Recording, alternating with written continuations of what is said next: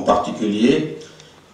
Et ce passage de témoin, euh, à cause des impératifs du CNRS, nous a obligés à finir euh, très vite.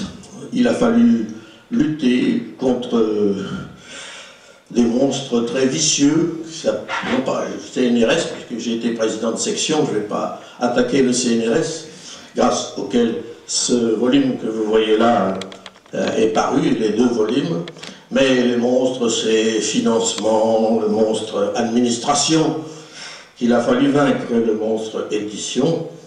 Bref, on est assez fatigué, on s'est pas mal fatigué, sans savoir si euh, ça irait au bout.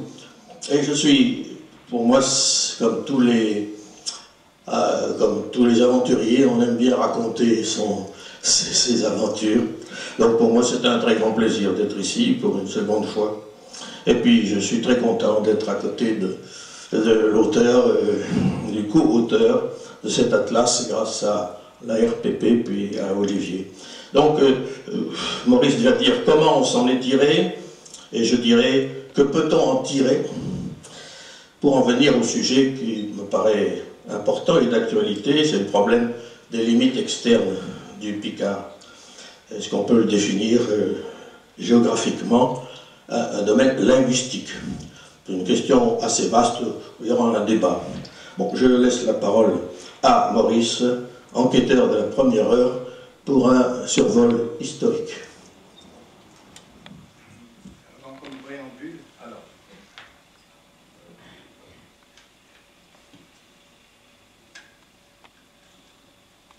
Et pendant ce temps-là, je vous montre que l'Atlas Picard est un petit morceau qui a failli rester en blanc, alors que tous les autres étaient finis. Il y avait encore un blanc pour couvrir l'Oise, la Somme, le Pas-de-Calais, le Nord et l'Aisne. Tous les autres avaient au moins un premier volume.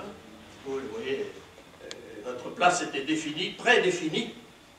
On ne peut pas dire, ça c'est ce qui nous restait. Les enquêtes ont lieu, une vingtaine d'années, je le dis tout de suite, et vous voyez un peu pour situer, pourquoi on l'appelle Alpic Parce que ça ne pouvait pas être ALP, puisque c'est la classe euh, linguistique pro Et là, la LP, donc euh, nous ne pouvons pas prendre ALPI non plus, c'est la péninsule ibérique. Euh, parce que les atlas sont des initiales qui sont reconnues mondialement. Il existe un atlas linguistique du Cameroun, à, de, plusieurs du Québec, la semaine dernière, on me présentait, c'était un séminaire à, Paris, j'ai fait une conférence aussi, euh, c'était l'atlas linguistique du Nouveau-Brunswick. Voyez donc. Enfin, l'atlas Picard méritait sa place. Maurice, vas-y. C'est ça le, volume. Ça c'est le 1. Il y a un 2.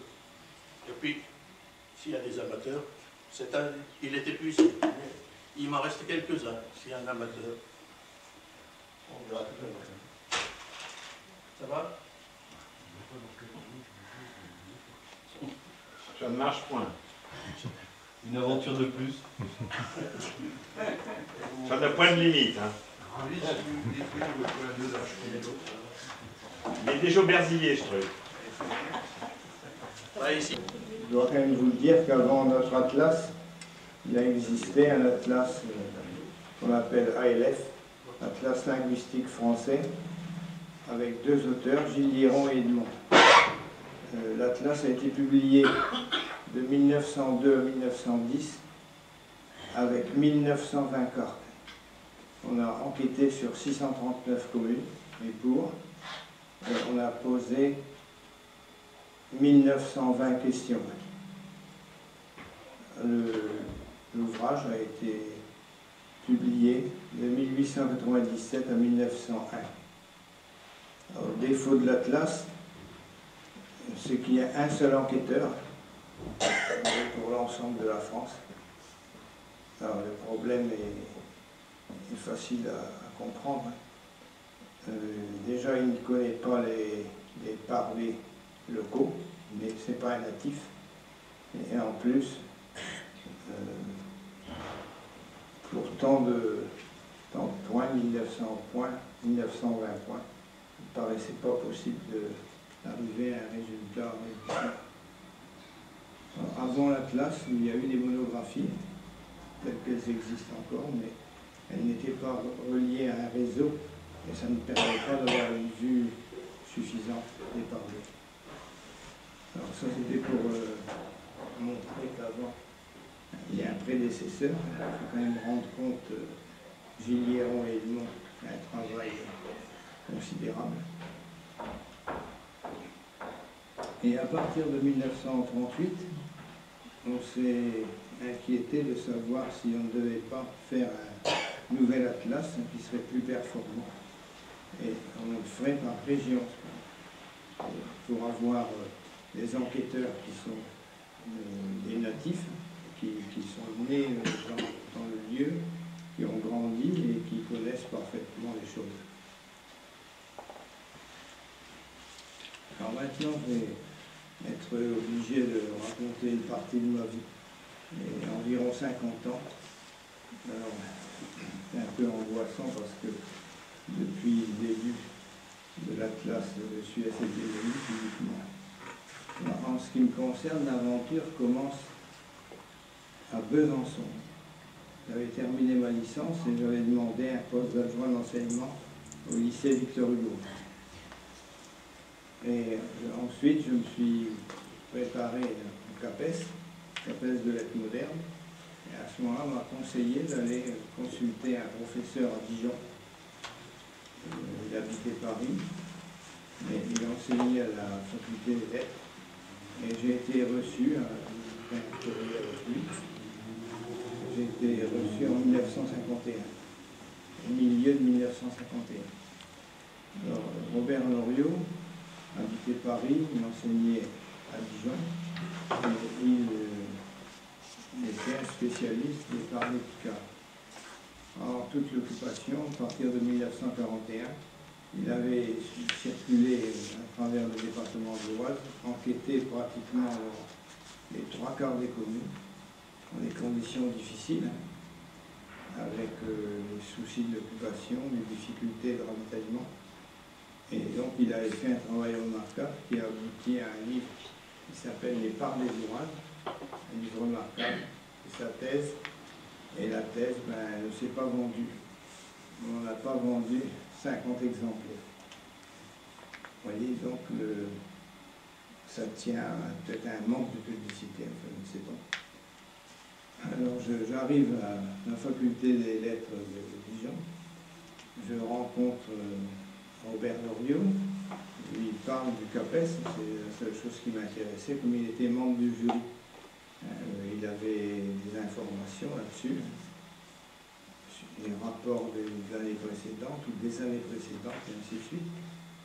Alors, euh, il m'interroge pour savoir mon origine. Quand je lui ai dit que j'étais d'origine picarde et un rural, à ce moment-là, il s'est beaucoup intéressé à ma personne parce qu'il voulait me mettre au travail pour faire les enquêtes. Alors, il m'a donné un petit questionnaire, un questionnaire qui avait été élaboré par euh, un linguiste qui s'appelle Albert Doza. Enfin, C'était un petit format comme ça. Il y avait à peu près 15 pages. Alors j'ai eu le malheur de remplir la formule et, et de lui confier on peut être content de mon travail, je ne sais pas. À partir de ce moment-là, j'avais mis le doigt dans l'engrenage et Robert Lorieux ne me lâchait plus. En, pleine, en plein été, en pleine vacances, un matin, l'attraction de Robert Lorieux rentre dans la cour de la ferme de mes beaux-parents et était venu me relancer jusque-là, à la dans l'Oise, entre Ménillet et Breteuil. Et naturellement, il avait apporté encore d'autres questionnaires les registres à, souche pour euh, qu'on les remplisse. Et puis aussi euh, un énorme questionnaire de 4450 questions. Alors, c'est un choc ça. Vous voyez ça, vous n'avez plus du tout envie d'enquêter. C'est affreux. Glorieux était gentil avec moi, il m'a invité à aller à Bagnous, dans le sur la propriété de Madame Loriot. Et vous savez que je campais à Collioure, c'est pas loin, je venais là-bas. Tout ira bien. Oui. Alors, euh, c'était déjà un, un fameux départ. Alors, pour euh, enfin, m'occuper, puis aussi parce qu'on pouvait avoir des points complémentaires pour euh, le CAPES, quand on avait fait un diplôme. Ah. Alors, donc, je fais le diplôme d'études supérieures en 1954 et je soutiens le diplôme avec Pierre Fouché. Pierre Fouché, c'est un catalan. Loriot était mécontent et, tout à fait euh, meurtri de ça que je n'avais pas pris comme directeur de, diplôme. Alors j'ai donc eu un répit. J'ai eu la paix pendant un petit moment. Mais il n'a pas résisté très longtemps. À la fin, et voilà encore revenu. Alors le diplôme, j'avais fait avec ma grand-mère maternelle, qui est née en 1865. Et j'avais eu des éléments déjà, euh, d'un village voisin. euh, L'origine n'était pas la même. Mon arrière-grand-mère était née au village voisin de la Hérette. Donc c'était pas le même parler, mais j'avais déjà recueilli beaucoup de choses. Elle, elle, était née en 1859. Donc euh, c'est vraiment un sujet euh, intéressant. Alors, euh, Besançon, je suis resté que deux ans. On préférait revenir en Picardie, surtout ma femme, là-bas, se plaisait pas du tout dans, dans le, dans le Jura. Et en 1952, je reviens en Picardie et j'obtiens un poste au Collège Courbet d'Abbeville.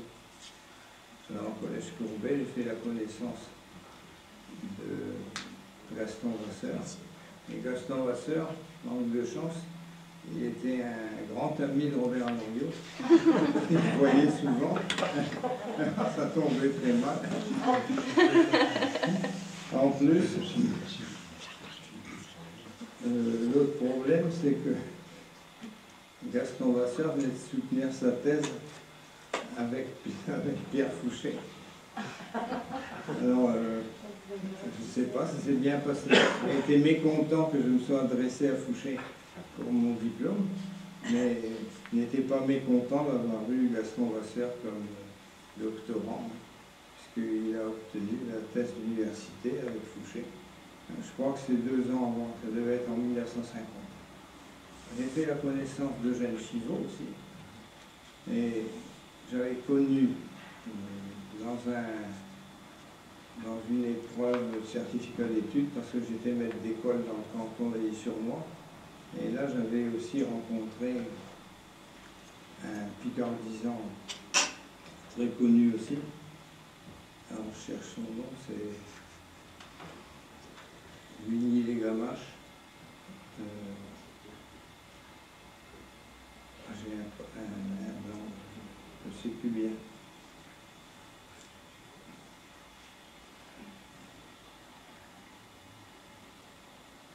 Alors, dès que j'ai obtenu euh, le CAPES, Robert Loriot est revenu à la charge.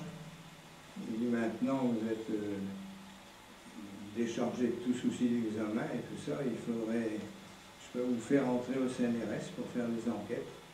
Je viens de faire entrer Claude de Paris. Euh, Il est originaire de la Tirache, mais il va faire des enquêtes dans le Pas-de-Calais et dans le Nord. Alors je n'ai pas accepté parce que je m'étais renseigné, on m'avait dit que c'est difficile de faire carrière au CNRS, d'une part, et puis d'autre part, ça pose des problèmes pour la retraite. Alors qu'en plus, avec l'énorme questionnaire, pas partant pour une entreprise pareille, j'ai déclaré forfait. J'ai changé de poste et demandé un poste à Chauny en 1954, après avoir fait le, en Chauny, c'était en 55. Et en 55, là, j'ai repris goût au Picard, mais en travaillant seul. Euh, pour les moments libres que j'avais, j'ai fait une enquête dans le Noyonnais. C'est une région qui est accidentée et qui, malheureusement, était tristement célèbre pendant la, Première Guerre mondiale, avec euh, une quantité d'offensives de toutes sortes et beaucoup de morts. Et là, dans la région, mes parents avaient, connaissaient des agriculteurs qui étaient des amis ou, des relations. Et j'avais fait une enquête très intéressante. Et auparavant, en 1950 et 51, j'avais à l'autre extrémité du département, et là on est à l'ouest, mais à l'est, euh, au sud d'Auneuil, euh, j'avais fait deux moissons en 1950 et 51 dans une région aussi qui était très intéressante sur le plan linguistique. Alors c'était le lieu dit, c'était les Marettes, et le village s'appelle Val d'Empierre. C'est un point très élevé, hein, puisque partant, partant clair, on aperçoit la tour Eiffel du, clocher de Val d'Empierre. Et Val d'Empierre, c'est une zone limite par les piquants. Alors, donc là, vous voyez la partie. Euh,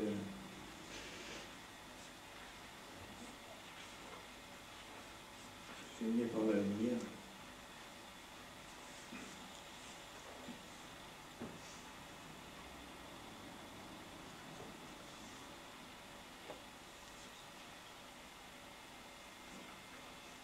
Je suis entré en relation avec euh, Chivot et, Vasseur.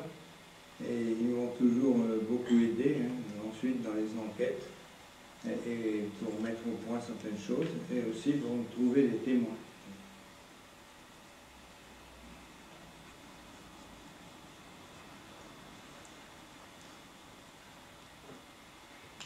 À partir de 1960, j'arrive aux enquêtes, euh, trois enquêteurs euh, sont au travail de Paris, qui est entré au CNRS après avoir obtenu son CAPES. Et après, euh, il y a eu aussi euh,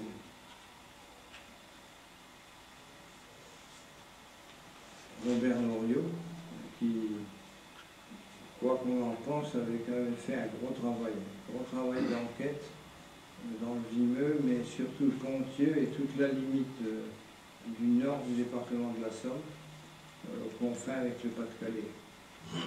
des enquêtes euh, souvent bien complètes, euh, faites avec beaucoup de soin.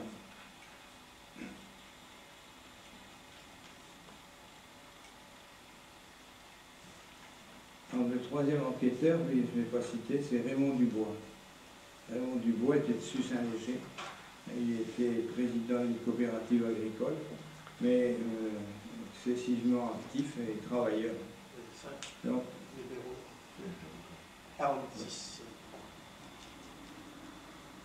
Et a fourni un gros travail. Et malheureusement, il est décédé en 1963, usé dans le travail. Et le questionnaire euh, des 4450 questions a surtout été le travail de ça a surtout été le travail de Raymond Dubois. Loriot a apporté quelques éléments. Alors là, il y a une, une histoire invraisemblable, c'est que ces questionnaires-là ont été imprimés à la faculté de Dijon, Loriot ayant ses entrées là-bas. Et Raymond Dubois, pendant les vacances, paraît-il, était allé là-bas pour euh, emporter les questionnaires. Parce qu'il voulait il y a une discussion pour savoir si on mettrait un seul nom ou deux noms. Alors il y a des questionnaires de deux sortes. Il y en a qui sont avec euh, Raymond Dubois, Robert Loriot. Il y en a qui sont au contraire uniquement avec Raymond Dubois. Alors ça fait une querelle invraisemblable. Alors il y a un fait euh, tragique, si on peut dire. Euh, ils se sont rencontrés à Sussin-Léger et Raymond Dubois, qui était excédé par euh, les demandes de Loriot, n'était pas toujours très facile non plus, a jeté sa machine à écrire à travers, à travers la fenêtre. La machine à écrire est tombée dans le gazon. Alors, oui, faire des enquêtes, c'est pas sans danger. L'aventurier. C'était des aventuriers. Euh, alors là, on va avoir maintenant un troisième personnage qui va entrer en jeu, c'est Jacqueline Picoche. Jacqueline Picoche était parisienne, mais elle avait une maison elle passait l'été à Montdidier, dans l'avenue de la Gare. Alors, son maçon était un maçon originaire de mon village natal, Saint-Georges. C'est comme ça que j'ai fait connaissance avec euh, Jacqueline Picoche. Et puis, elle m'avait parlé de Loriot, elle avait entendu parler de Robert Loriot, elle voulait faire une thèse de troisième cycle avec un professeur. Vous faites ça avec Loriot. Et elle avait des amis à Etelfait, c'est un village qui est à 5 km de Montpellier. Et là-bas, Etelfait, on lui a procuré des bons témoins. Donc elle a fait une enquête en 1969. Alors, euh, puis, L'ARL, c'est au 113. euh, c'est 111. Oui. 111. Non, c'est 111. Oui. Là. Oui. Alors, euh, Jacqueline Picoche, eh ben, toute parisienne qu'elle était, elle est Rigaud Picard. Et quand elle a vu la carte de France avec un blanc au nord, là, tout au nord, elle a dit écoutez, on ne peut pas laisser faire ça, il faut vous engager à fond dans l'aventure. Alors, je veux bien m'engager à fond, mais c'est un emploi du temps qui ne nous permet pas de faire des enquêtes comme ça, il faut trouver des solutions. Alors, euh, on m'a donné un, poste euh, à l'université pour être, euh, donc une section euh, en option, je crois. Et là, euh, j'avais un, un horaire réduit, bien sûr, en linguistique française. Et à l'école normale d'institutrice, où il y avait le centre PEGC, on m'a donné le cours de stylistique. Alors en tout, ça représentait 7 heures. Mais euh, enseignant à l'école normale, première chaire, quand on prend les, tous les moyens pour réduire son horaire, j'étais encore à 14 heures. Donc il fallait euh, travailler à mi-temps. Et pour travailler à mi-temps, il n'y a que le recteur qui pouvait le faire. Alors j'ai eu de la chance parce que les trois recteurs qui se sont succédés m'ont toujours aidé. Sans ça, on n'aurait pas pu faire la classe. Alors je me suis mis à faire des enquêtes. Et en fin de compte, euh, les choses ne sont pas trop mal passées. Mais je n'ai pas utilisé les registres à. De Paris non plus. Je préférais euh, uti- utiliser les cahiers. Parce que pour moi, il fallait toujours tourner les pages. Et rien de plus insupportable pour les gens quand on interroge que d'être obligé de chercher le questionnaire et de savoir comment on va poser la question. Il fallait prévoir les choses avant, mais pas emporter euh, le- ce papier. Un autre problème aussi qui se posait, celui des enregistrements. La plupart des gens enquêtés ne souhaitaient pas du tout euh, qu'on les fasse parler. D'ailleurs, il y avait une perte de temps, on allait beaucoup moins vite poser des questions. Ils ne tenaient pas trop à ce qu'on avait une prise de courant, qu'on utilise leur kilowatt. Ça, la plupart, ça ne leur plaisait pas du tout. Alors emporter une batterie ou des choses comme ça, c'est à peu près impossible. Alors, euh, vous voyez, c'était quand même, il y a des choses qui ont été, qui ont été un peu pénibles. Alors, la tache blanche, hein, c'était une obsession de Picoche. Et pour que je puisse enquêter et qu'on ait un allègement et qu'on ait peut-être un peu d'indemnité, elle m'a recommandé enfin, au directeur des Atlas, au CNRS, qui s'appelait Gaston Tuaillon. Alors Tuaillon m'avait écrit une lettre encourageante et ainsi de suite. Et Picoche euh, a décidé de faire venir Tuaillon hein, pour euh, qu'on puisse euh, faire un groupe de travail avec deux Paris. Et puis, on avait invité Robert Lorieux aussi, parce que Lorieux n'était pas très bien avec Tuaillon. Il, avait été directeur de la place Picard et puis je crois qu'on l'avait un peu éliminé. Je me rappelle, toujours la, scène qui s'est produite. J'ai pris Lorieux à la gare d'Amiens, je l'ai conduit au campus. Quand on est arrivé au campus, c'était un samedi après-midi, on avait demandé au concierge d'ouvrir la porte. C'était le bâtiment E. alors il y avait trois personnes là debout, Suayon, René Debris et De Paris qui étaient arrivés avant nous. Alors Loriot, qui était cardiaque, s'est dépêché d'avaler des pastilles roses pour se donner du souffle. Et quand il a vu que Debris était là, on n'était pas content du tout. Par contre, on était deux, de Paris et moi-même, pour euh, tempérer la colère des deux interlocuteurs. Alors ils n'ont fait que s'insulter sans arrêt, Lordio et, et Tuaillon.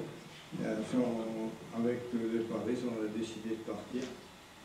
Et c'était l'échec total. Lordio a dit je ne donnerai jamais mes cahiers d'enquête. Euh, donc, il aurait fallu refaire, et il avait quand même fait pas mal le Pas-de-Calais, aux confins de la Somme. Donc il n'était pas beaucoup possible de repartir à zéro. Alors ça a commencé très mal. C'était pas très encourageant pour moi. Alors avec mes 7 heures, je pouvais quand même travailler. Et j'ai continué à travailler seul. Oui, la querelle de Tuaillon-Loriot, c'est aussi le fait que, je ne sais pas si c'est vrai, c'est le fait que Loriot disait qu'il avait fait des enquêtes dans le Pontieux et dans le Vimeux, ce qui était vrai, mais qu'il n'avait pas été euh, indemnisé, que le CNRS refusait de le payer. Alors ben, on avait dit, Tuaillon, parce que vous êtes responsable de la classe Picard, vous, vous n'avez qu'à intervenir en faveur de Loriot et puis on arrivera à en sortir. Hein. Ça demandera peut-être euh, deux mois, trois mois.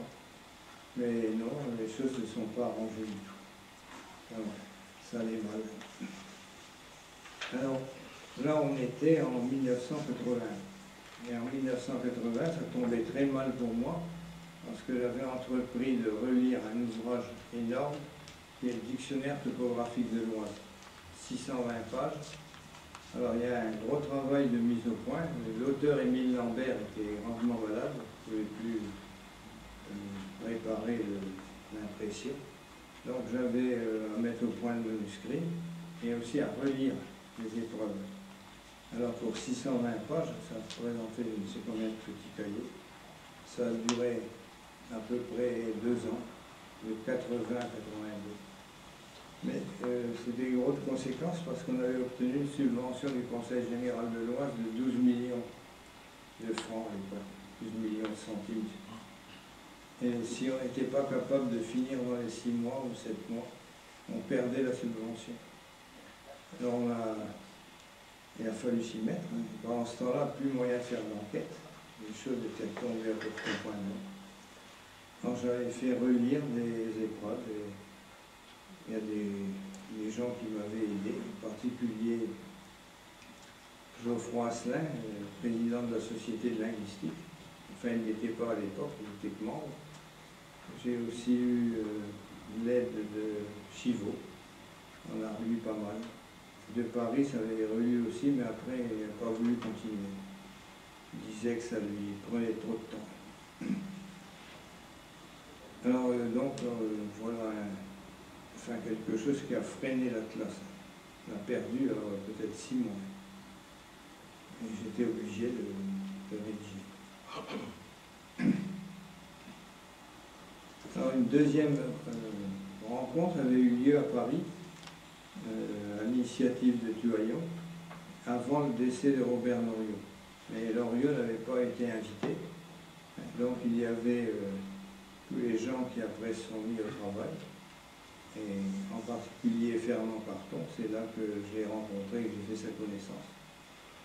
Et on nous a dit qu'il fallait collaborer, alors donc collaborer avec euh, Fernand, collaborer avec euh, De Paris, et euh, à partir de ce moment-là, on a quand même vu plus clair l'entreprise.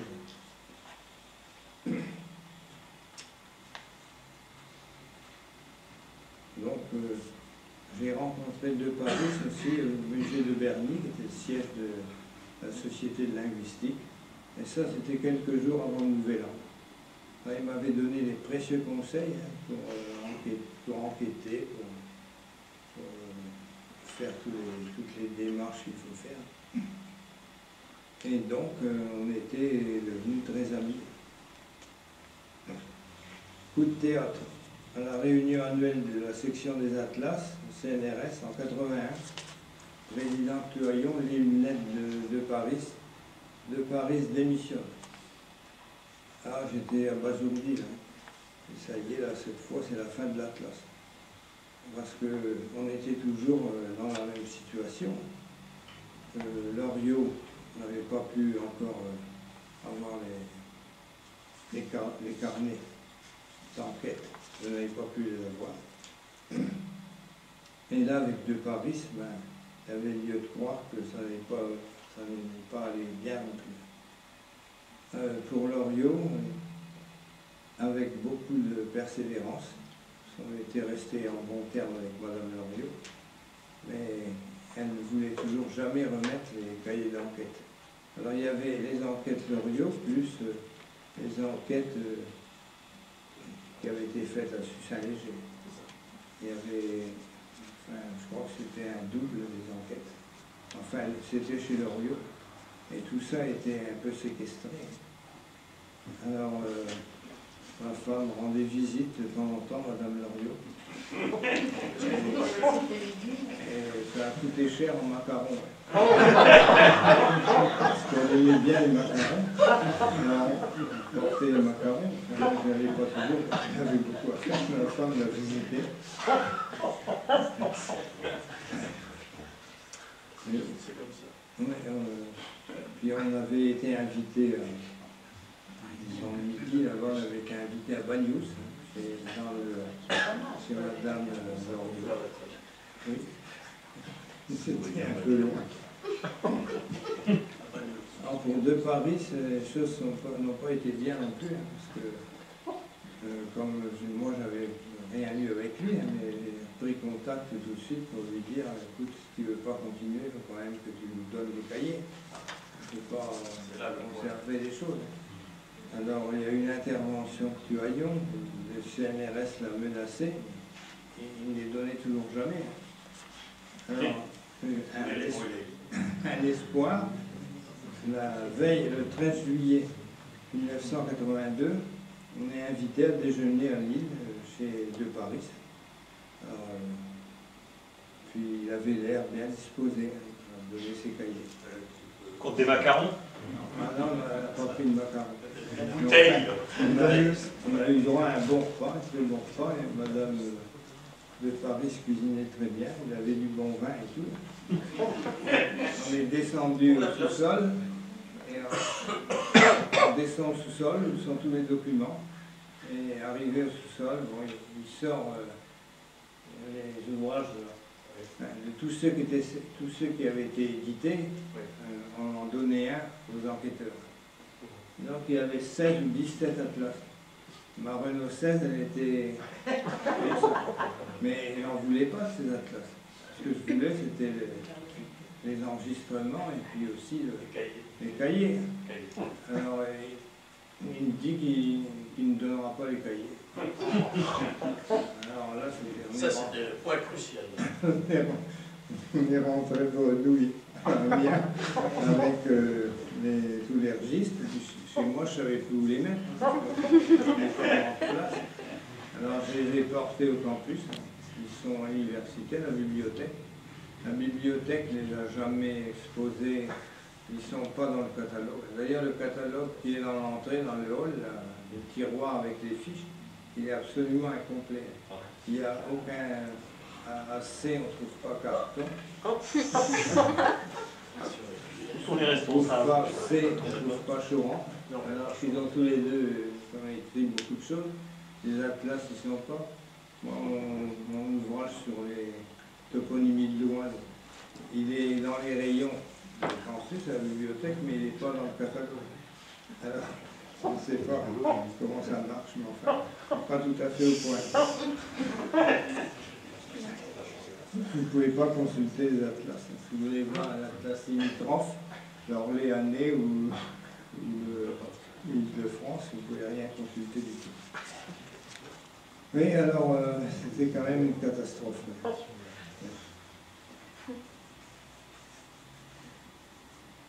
en fin de compte, euh, on a encore patienté parce que j'avais envie de faire une intervention aussi. hein. Et quatre mois plus tard, un matin, très tôt, sans avoir prévenu, euh, une voiture dans la cour, je n'avais pas fermé mon, portail, et c'était euh, de Paris. Et il m'apportait euh, les enregistrements et, et tous les documents. Alors aussitôt, j'ai pris contact avec Fernand et je lui ai remis. Oui. On est allé les porter à mi-chemin. Il Oui, une rencontre comme Napoléon et Alexandre, leur ville. Et à Bourguignon, on s'est rencontrés près de là pour mettre de- 75, 80 cahiers, tous les enregistrements de son coffre dans le mien. Alors là, j'ai compris qu'on saurait la place. Oui, que c'est historique là. Et en plus, euh, Bourguignon sur Montbavin, c'est la patrie des, des frères Lenain. Et 127. C'est un peu discuté parce que il paraît qu'ils sont nés là-bas, mais ils ont habité là. hein. C'était pas vraiment, de- c'était vraiment pas des paysans. Fait. Enfin, c'était agréable aussi. C'était la veille de l'ouverture de la chasse, la rencontre. Au crépuscule, là, hein, sur un chemin isolé. Et quand euh, Fernand a ouvert son coffre, j'ai pas d'odorat, mais alors là, hein, parti en arrière. J'avais du Munster aussi. Tous les cahiers d'enquête de l'Atlas Picard qui ont servi à faire ça sentaient le Des productions quand même du coin. Faut valoriser la place. Alors, à partir de là, hein, enfin, on va quand même se mettre au travail hein, avec plus de morale, hein, parce que moi j'avais le moral sapé. hein. Euh, vous voyez qu'il y a déjà une série de- de- d'enquêtes que vous ne pouvez pas euh, utiliser et qu'on vous a quand même allégé avec cette heure de cours qui est quand même privilégiée, vous ne pouvez pas rester à rien faire. Et, après, avec le Paris, c'était vraiment bas. Alors, euh, dès qu'on a eu tout ça, on a pu multiplier les rencontres. hein. Se rencontrer euh, aussi bien à Amiens qu'à Paris, à Lille et tout. Et puis aussi à, Nancy, je suis allé deux ou trois fois, je ne sais plus bien. En tout cas, on a, pu, remettre les choses en place. Alors il y avait un gros travail à faire. hein. D'abord, euh, il fallait réduire le questionnaire. On l'a réduit au, quart de ce qui était, avec 1150 questions au lieu de 4400 450. Et pour les enquêtes, euh, on s'est toujours concerté aussi pour savoir quelle, euh, enfin, quelle question on prendrait. Il a fallu euh, trier parmi les questions. Notre but, c'était d'avoir une carte pleine, parce qu'il y a des, des thèmes qui marchent au nord, qui ne marchent pas au sud, inversement. Alors on s'est toujours euh, concerté pour avoir des cahiers. Oui.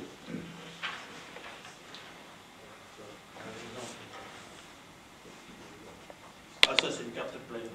Après, euh, le problème euh, le, plus, important encore, c'est de choisir les points d'enquête.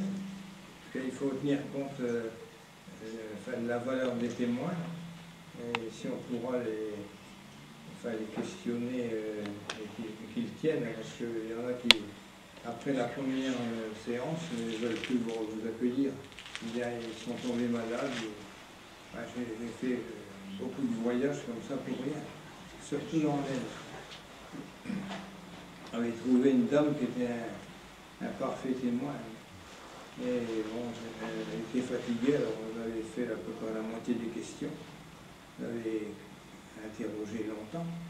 Et elle me dit de revenir euh, dans huit jours. Alors, euh, huit jours plus tard, je retourne là-bas.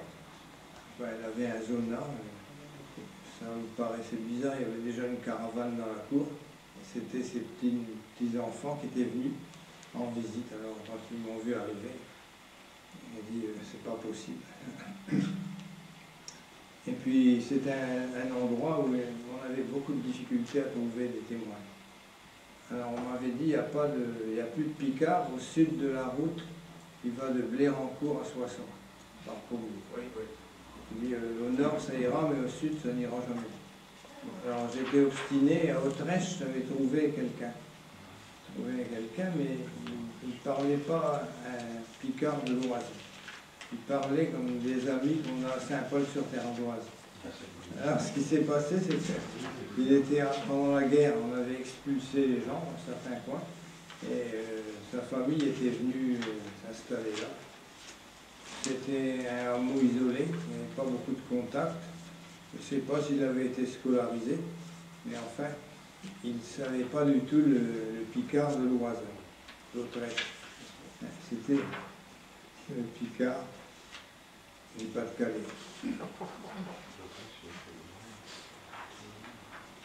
Alors on s'est mis d'accord euh, sur 127 points. C'est trois fois plus dense que l'Atlas linguistique euh, français de 1900, 1910. Et en plus, il a fallu choisir les cartes. Alors là, on s'est arrêté pour un premier volume avec 317 cartes. C'est la moitié de l'importance par rapport à, à l'ancienne, à l'Atlas linguistique.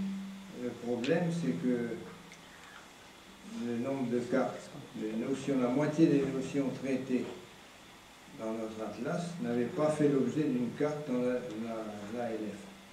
Donc, euh, si vous il est plus complet, il, est deux fois plus complet en fin de compte, si on raisonne dans l'absolu. Alors, les enquêtes vont se, poursuivre pour vérifier les, choses, pour compléter euh, certains points et pour euh, établir les brouillons. Les années les plus importantes, c'est 87-88. Et en 88, euh, il y a une réunion mémorable à Nancy. où On avait fait venir euh, tous les, les- les enquêteurs, en particulier Jacques Choran aussi, qui avait travaillé. De l'aide. Oui. Et euh, la collègue du, Lille n'avait Euh, pas Denise pu Poulet. venir. Oui, c'était Denise Poulet. c'était excusé, elle n'a pas pu venir, mais enfin. Je elle voulais avait- enquêter dans les dans le Calaisie, Oui. région de Oui, Saint-Clair. c'était bien aussi. Jacques Choran a fait sa thèse sur les paroles Ah oui, il parlait de l'aide. de l'aide. Oui. Et puis il est très fort en étymologie. Alors on est donc arrivé à, à un résultat euh, qui est quand même très positif puisque dans l'année 88, hein, le nombre de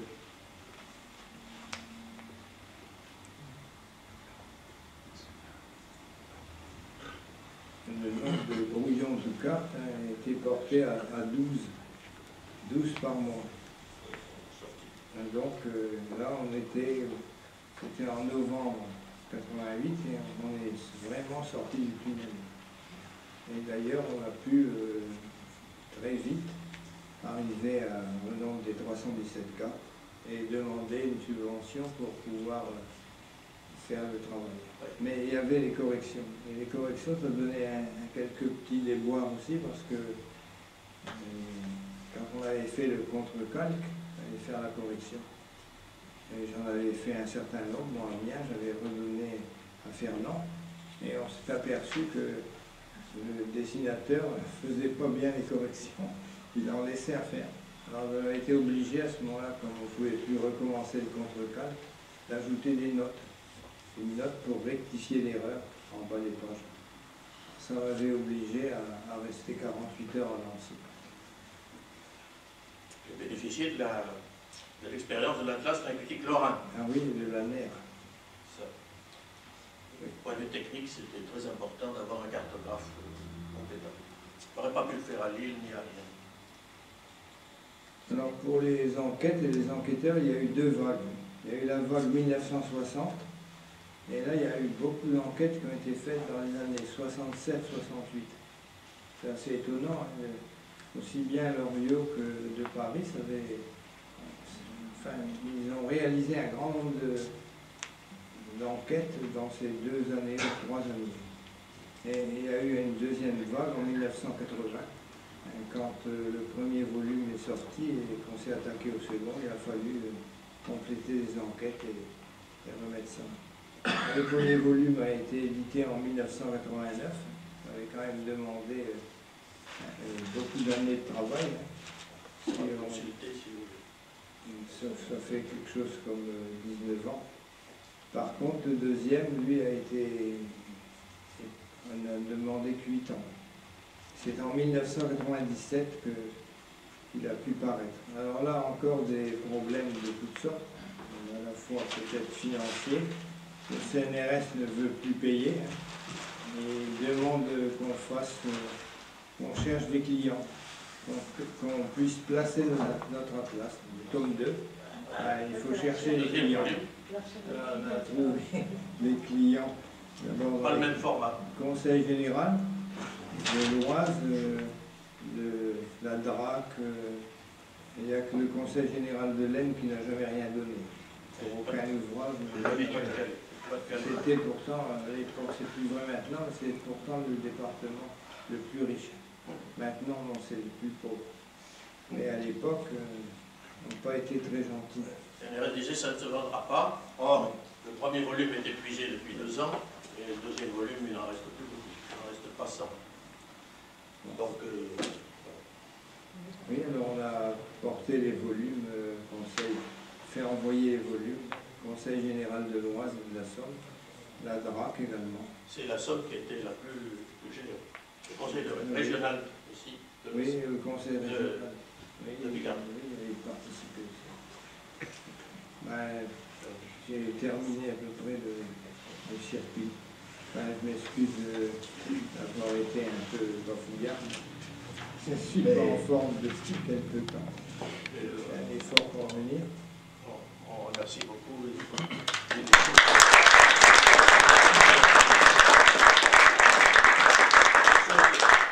Beaucoup de choses que vous ne connaissez pas. Je, je peux ajouter Ça fait peut-être- fait des omissions. que, non, non, ben, j'ai été payé 650 457 francs par le CNRS en 1962 pour enquêter euh, euh, sous la responsabilité de Raymond Dubois. Donc j'ai fait, j'étais payé pendant deux ans, j'étais professeur euh, agrégé au lycée de Tourcoing, dans mon lycée.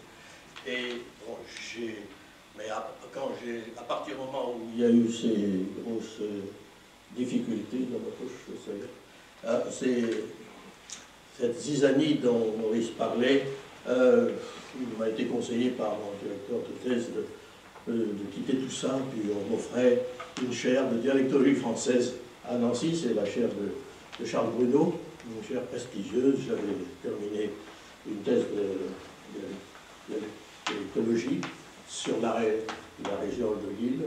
Je suis moi-même picard de Roubaix, c'est roubaixien, donc urbain. Et euh, pour collaborer, il fallait que nous fussions très différents. Un, rural de l'Oise et puis un, urbain de Roubaix. Mais euh, la mayonnaise a pris. Sans ça, vous avez vu que ça a tenu à, très peu de choses. Alors qu'est-ce qu'on peut faire et pourquoi tous ces efforts? Ben, Eh bien, pour avoir des données, évidemment, pour avoir des données, on, on comprend, je pense, maintenant beaucoup mieux qu'il y a qu'à ces époques-là, qu'une répartition, euh, il ne suffit pas de la dimension historique hum, doit se compléter d'une dimension géographique.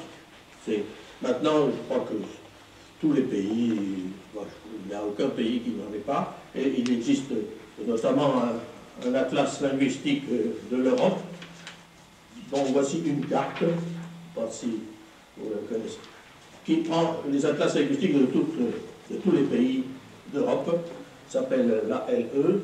Voilà un exemple. Bon, à part, euh, on va remarquer la Picardie, euh, c'est le, le, prunelier. Bon, euh, ça procède non pas par points, mais par, euh, par quadrilatère. Et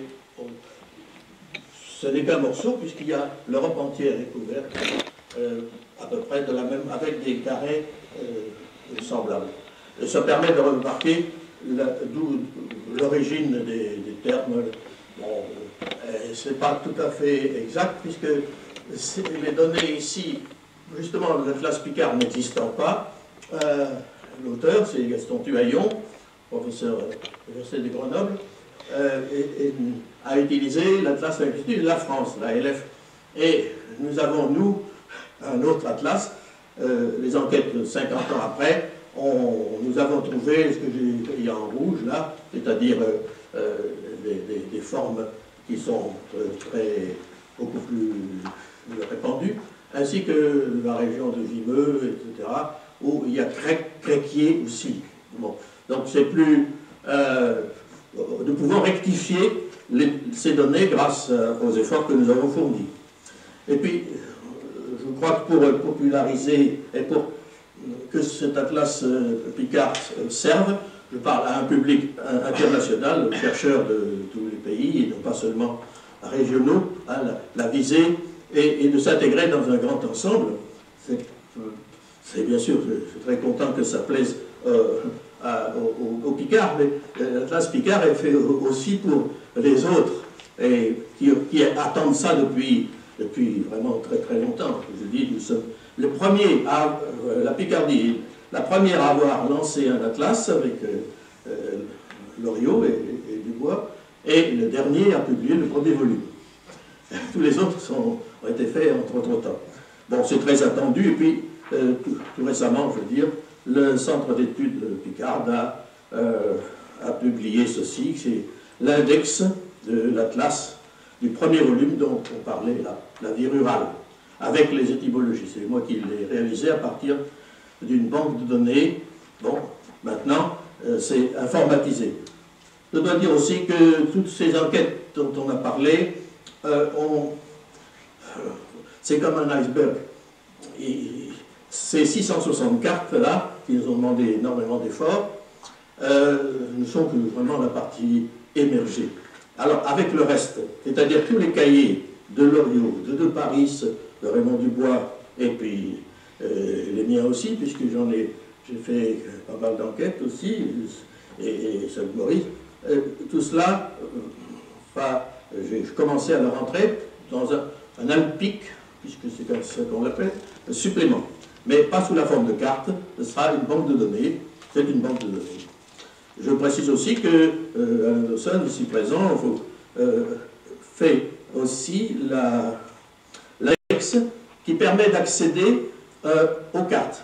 Parce que, euh, bien sûr, c'est intéressant de l'ouvrir comme ça, puis de trouver la carte, comment, comment on dit comme on dit, les, groseilles ou un billot d'attache. Bon. mais pour le chercheur, ce n'est pas, pas comme ça que les chercheurs l'utilisent. Il leur faut un index. Et celui-ci, grâce à un logiciel du CNRS, bon, a, a, permis de, de réaliser ceci. cette semaine, j'étais au, plus grand, ce qu'on appelle le euh, Französisch Wörterbuch qui était commencé à Bâle, mais qui se réalise actuellement à, Nancy. C'est le plus grand dictionnaire étymologique euh, de la langue française, y compris les dialectes, les dialectes inclus. Et c'est le, réservoir où vont puiser tous les, Larousse, euh, à l'arrêt d'un ancien, et à Piquet, toujours sa documentation chez nous, c'est à une demi-heure de chez moi, donc, et je voyais le, le rédacteur actuel de ce grand dictionnaire étymologique français, qui nourrit tous les autres atlas. Euh, il, voit le premier mot, c'est notre carte numéro 118, l'épi de blé s'incline. C'est une question que nous avons retenue. Ça paraît, bah, ça me figure, c'est vraiment difficile. Or, pour le paysan, c'est très important, c'est indique hein, le moment euh, où le blé est mûr. Alors, il y a, 28 euh, mots, 28 expressions différentes pour dire cela dans, dans notre domaine. Et il tombe sur le mot, le, blé sabal. Sabal, bah, j'aurais jamais pensé, est en train de rédiger la lettre, de revoir la lettre B. euh, Ballaré en latin, qui a donné ballet, puis ballant, s'il est bras ballant, mais il n'aurait jamais pensé que en Picard, en Picard, il puisse y avoir sabalé. Il ne va pas tourner toutes les pages pour le savoir de tout. Il y en avait 80, euh, 90, la classe euh, de France. Nous n'en avons que deux volumes à cause des questions financières. La Lorraine en a quatre, Normand en a quatre. Bon, enfin, voilà une donnée précieuse pour l'histoire du français. Alors c'est un, euh, un début, puisqu'il y aura les deux, et il y a un atlas supplémentaire. Donc on ne va pas perdre, on va pas perdre ces données. Un autre euh, exemple, c'est l'atlas euh, bon, des, des, banques de données, oui, puis de très nombreux travaux universitaires étrangers. Mais maintenant, euh, il y a plusieurs moyens d'utiliser l'Atlas. Euh, beaucoup l'utilisent par des comptages. Des comptages de traits, on appelle ça la dialectométrie. Il y a un Autrichien qui s'appelle Hans Goebbels, qui, que j'ai souvent rencontré, qui était venu à, Amiens il y a au, colloque sur les langues collatérales. Lui, il, euh, travaille actuellement sur l'Atlas Picard et Normand avec une méthode euh, informatique euh, très, très élaborée qui permet de, par, comptage de, traits. Euh, c'est une méthode un peu compliquée, je ne peux pas l'expliquer ici, mais bon, il y a des, gens qui travaillent au niveau de l'Europe. Mais nous, ce que nous avons fait, que j'ai fait surtout, c'est bon, de, des travaux comme cela, des exploitations de cartes comme cela que j'ai fait paraître dans Linguistique Picarde. Euh, on appelle ça des isoglosses. Euh, c'est les cieux. Les cieux, un terme bah, connu de tous les francophones, de tous ceux qui ont un véhicule.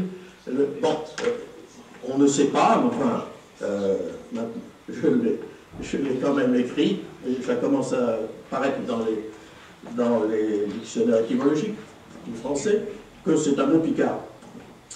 Alors, euh, la carte peut paraître très difficile à, comprendre parce y a une séparation très nette entre le nord et le sud. C'est un, exemple avec euh, du côté de, à l'ouest, des un petit trou là, mais il y, a une frontière là qui est euh, interne, qui est très importante, c'est ce, entre cette partie-là de l'Artois et puis de la Somme. Euh, c'est le mot essieux, mais euh, la raison, euh, le Picard a fourni le mot français, la raison c'est que l'étymologie n'est pas la même. Dans le nord c'est axillé, dérivé du latin axis, axillé qui est donné à essil et essi, donc en, dans le nord, alors que le Sud a pris axiolum, un autre dérivé, d'où essieux, essieux en ancien picard. Tous les deux sont des termes d'ancien picard, mais c'est le terme qui a été emprunté par le français au picard, c'est le mot essieux qui est devenu secondairement essieux, mais plus anciennement c'est essieux, avec quelques, quelques variantes par-ci par-là, mais vous voyez, le terme essieux est plutôt dans la zone est, euh, deux étymologies, mais c'est la Somme et, l'Oise qui ont donné aux Français, et non pas le Pas-de-Calais, étant plus proche du centre directeur de la langue française. Bon, c'est un exemple. Ceci permet d'éclairer, si vous voulez, cette carte permet à tous les étymologistes d'éclairer simplement euh, l'histoire du mot français essieu. Je donnais le berceau, je ne vais pas le, repasser. Alors, euh, euh, c'est ça qui introduit euh, l'idée. Qu'est-ce que c'est que le Picard du point de vue linguistique? Ben, Voilà, si on prend, tout dépend de la carte qu'on prend. Si on prend la carte, vous pouvez vous asseoir là peut-être hein, que vous n'en serez pas gêné. Ben, oui, comme ça, ça va. Alors, évidemment, on pourra dire que c'est Pampicard, bien que l'Oise, cher à Maurice, euh, soit exclue. Euh, j'ai inséré aussi, on peut le dire aussi, que Claude de Paris a perdu beaucoup de temps, hein, parce que M. Loriot lui avait euh, dit d'enquêter aussi en Belgique. Ah oui, Et Gaston Tulaillon a dit non, on ne fait pas la Belgique, il y a déjà un atlas wallon, un atlas roman, la Belgique romane. Il avait fait 12 points. Et, oui, voilà, ben, j'ai les, les cahiers chez moi, vous vous avez donné. J'ai reporté ici pour voir que Mi se trouve, euh, voyez, également en Belgique. Ah, c'est parce qu'ils ont fait un atlas de Wallonie. Bah oui, bien sûr. Donc ils ne voulaient pas du tout qu'on aille euh, Alors Mi peut se continuer aussi en, en normand. Bon, est-ce que c'est spécifiquement Picard? Ben, Si on en croit l'expression ch'timi, euh, oui, euh, peut-être peut-être pas. Voilà, quelque chose qui donnerait l'idée d'une unité du Picard. Mais si on donne une autre carte, euh, là aussi on pourrait dire che, c'est vraiment Picard, che. Je, je, je, garde un. Hein, bon. Je garde un pour, c'est-à-dire le démonstratif, en fonction de- d'articles réellement définis. On le trouve euh, bien, hein, pas, pas dans le Calaisie, mais et, surtout une grande partie du, nord est exclue, ainsi que l'Aisne. Euh, alors, est-ce que est-ce que c'est ce que, ce que nous appelons un réactif? Et comment trouver les, bons, les bons réactifs? Chacun peut, peut trouver les réactifs qui, qui, l'arrangent. Voilà le, problème de l'interprétation, de l'exploitation de- des données brutes de l'Atlas. Voici encore un exemple. Celui-là aurait beaucoup intéressé Gilles dont on parlait tout à l'heure. C'est la question est-ce que, c'est dans le deuxième volume, euh, dans tous les points de la zone en rouge, euh, dans la zone hachurée, ici, c'est joue. Joue, joue que tu viendras. Et joue, ça vient du. C'est un euh, ancien Picard qui vient du latin ego, dont on a oublié ça veut dire moi, et qui sert à interroger. Euh, alors là, c'est intéressant du point de vue historique. Ça montre que dans la zone centrale d'un domaine, du domaine, il reste des traces du XIIIe. On parle comme au XIIIe siècle pour, cela. Et avec des, points, des points qui restent aussi, c'est qu'on interprète, puisque l'histoire euh, du, du- du- c'est Gilles en 1905 qui montrait que un mot, la place d'un mot raconte l'histoire de ce mot, comme l'emplacement des roches sur une carte géologique raconte l'histoire des terrains. Alors il y a donc des buts de témoins, ceci devait être beaucoup plus étendu. Il y a un rétrécissement de Picard euh, en par ici, en ce centre.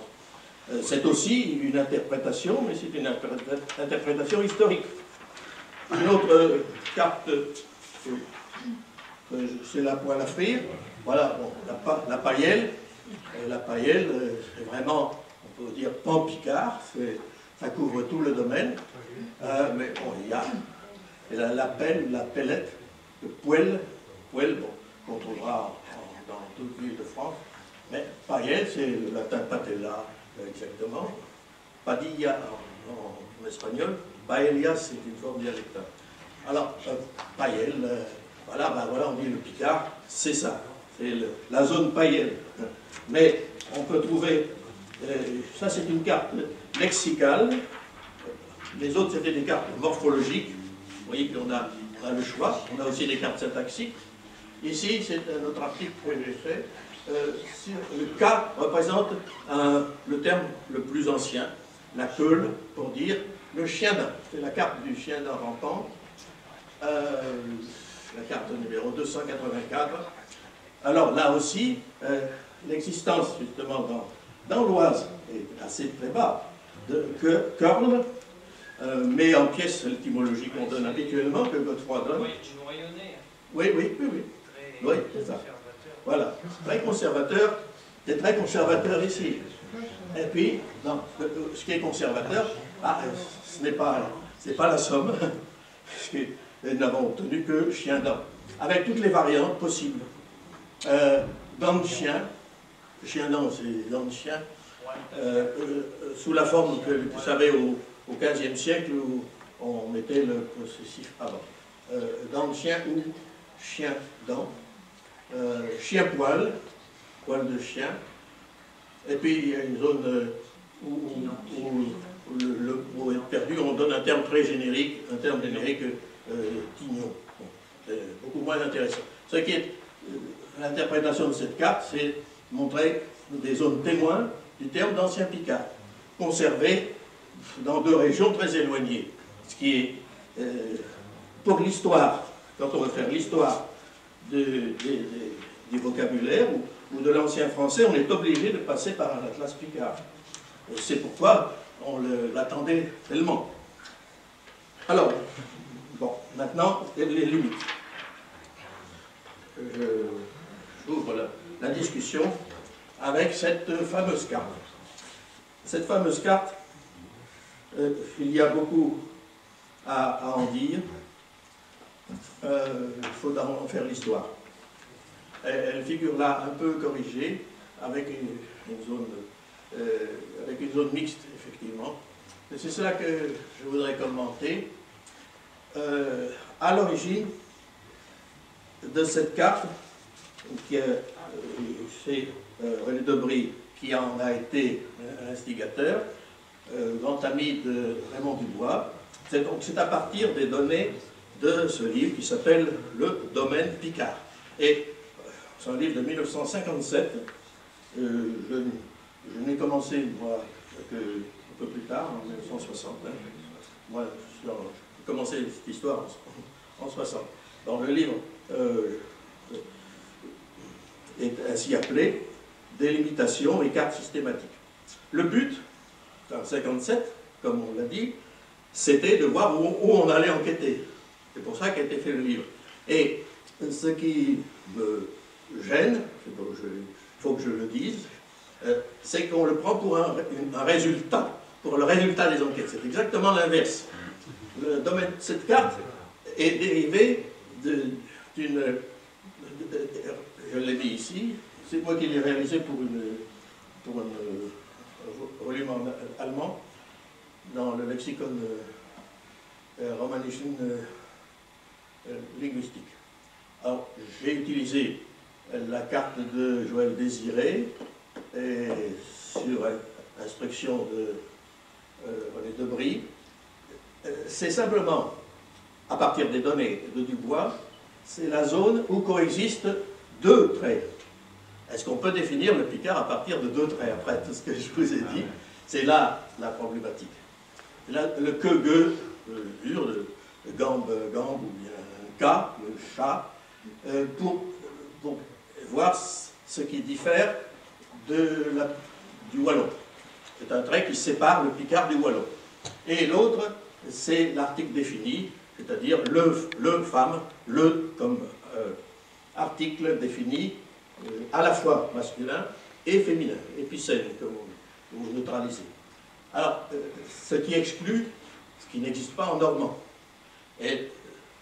Le, euh, toutes ces, toutes ces choses-là indiquent ben, tout simplement les communes où, d'après la toponymie, uniquement la toponymie, la microtoponymie, euh, euh, ça a été fait à partir de données extrêmement restreintes, avant enquête. Et le but, Dubois me l'a souvent dit, le but de, ces- de ceci, c'est pour savoir où enquêter. Euh, en fait, ça n'a pas beaucoup servi. Et surtout, il voulait surtout numéroter toutes les communes. Et cette numérotation, elle était faite d'après des données de 1939. Et depuis, il y a eu beaucoup de fusions de communes. Donc, dans le Clermontois, comme nous disions cet Non, après-midi, pendant l'occupation, l'arrondissement de Clermont a été supprimé et rattaché à Compiègne. Alors Oui. ça faisait déjà... Alors, Donc la carte systématique de Dubois ne peut pas être illustrative. L'ouvrage a été tiré à 300 exemplaires, bon, personne, par quelques bibliothèques. Euh, cet ouvrage est rarissime. Et encore une fois, ce n'est qu'un préliminaire à la classe. Et surtout, ça devait servir euh, pour l'inventaire général du Picard, qu'ils appelaient euh, Thesaurus Picardicus. C'était plus important pour euh, les fondateurs que l'Atlas lui-même. L'Atlas était une sorte de sous-produit de l'inventaire, ce qui explique tous ces errements dont on a parlé, tous ces, discussions auxquelles je n'ai jamais beaucoup voulu prendre part. Euh, je l'ai réalisé en, en, incluant Dunkerque. Euh, pourquoi? Comme je le disais tout à l'heure, simplement parce que Dunkerque est le substrat euh, flamand, j'ai enquêté, enfin j'ai fait un petit lexique de Saint-Paul-sur-Mer, fait le cousin que j'avais quand j'étais au lycée de, professeur au lycée de Dunkerque, c'est Barre. Et il n'était pas question de, de, de, Picard, pas du tout. Euh, le plus Picard, c'était Oua Plage, Oua, que le dernier n'était pas. Le premier port Picard à cette époque-là. Mais depuis, ça a beaucoup changé. Au carnaval de Dunkerque, on dit carnaval, tout le monde, y compris les, les les plus, les plus purs. Euh, les chansons de carnaval sont toutes en Picard. Alors, euh, ça a changé depuis. Incontestablement, il y a donc euh, une, comme une diffusion de certains traits, alors qu'il y a, à cause peut-être d'une raison de prestige, le prestige du, Pas-de-Calais, plus grand que celui des, cultivateurs flamands. flamands parce que le, flamand est de moins en moins de moins en moins parlé, s'appauvrit énormément, tout simplement parce que les Néerlandais, le néerlandais euh, veut imposer une norme. Or, le, West Vlaams est très différent du néerlandais, euh, l'article n'est pas le même, etc. Donc, euh, on, ce sont à la fois les néerlandais qui luttent contre le flamand, et puis, et puis la francisation courante des médias.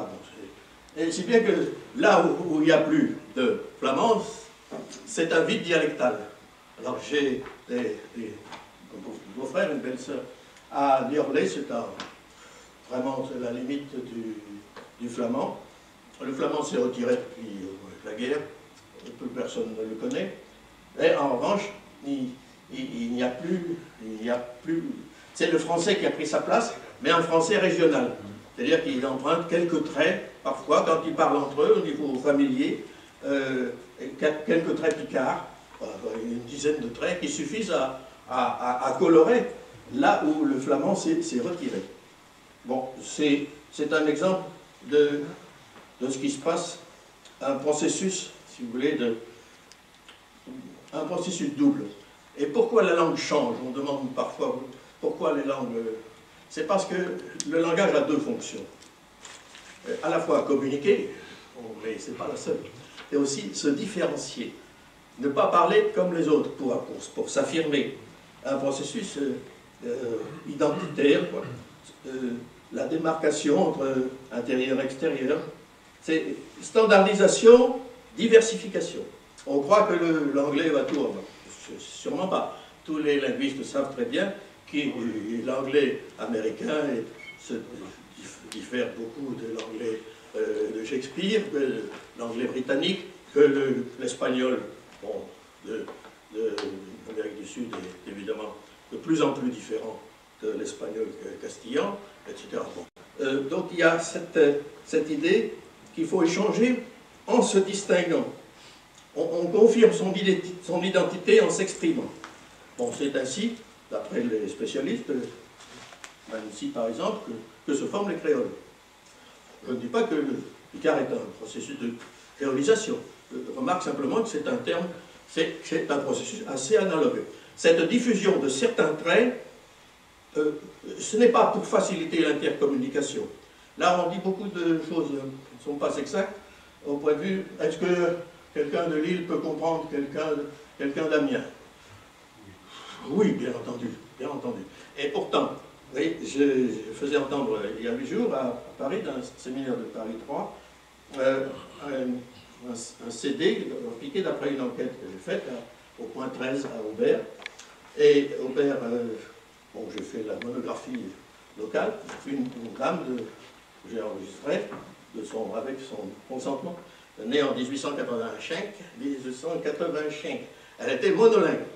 C'est-à-dire qu'elle employait les mots français, mais toujours avec euh, des traces de, Picard. Euh, je dis, bon, c'est les rameaux aujourd'hui, alors euh, comment se passera, comment vous dites, je ne voulais pas suggérer, dimanche prochain, ah bah chez Pôque, Pôque chez Pôque, chez comme, chez, chez, chez pareil, pareil. Pôque chez Pôque. Voilà un discours monolingue. C'est-à-dire que euh, parlant français, elle a un accent.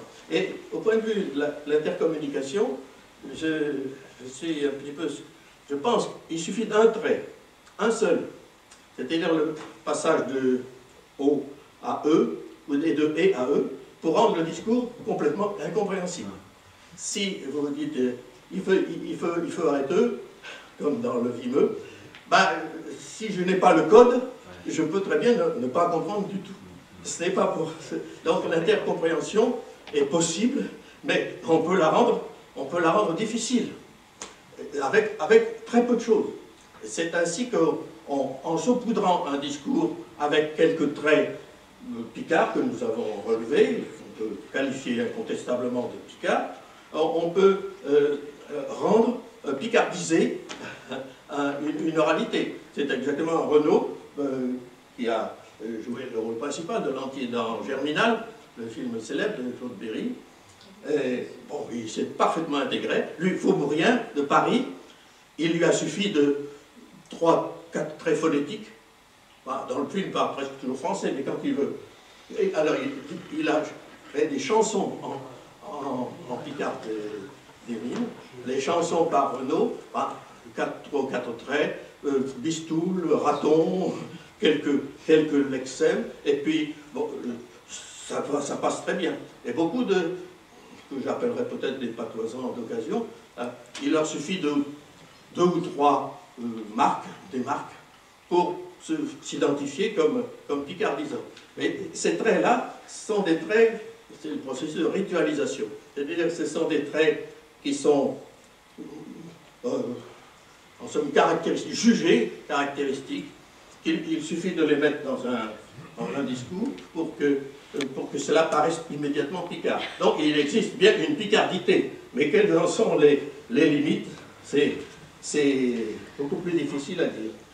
Je, donne encore un exemple d'un trait qui est en pleine expansion. Si on veut faire Picard, on va, on va euh, je, bah, je, vois, vois euh, euh, chez Gardin. Ce sont trois cartes, la carte 9, 11 et 12.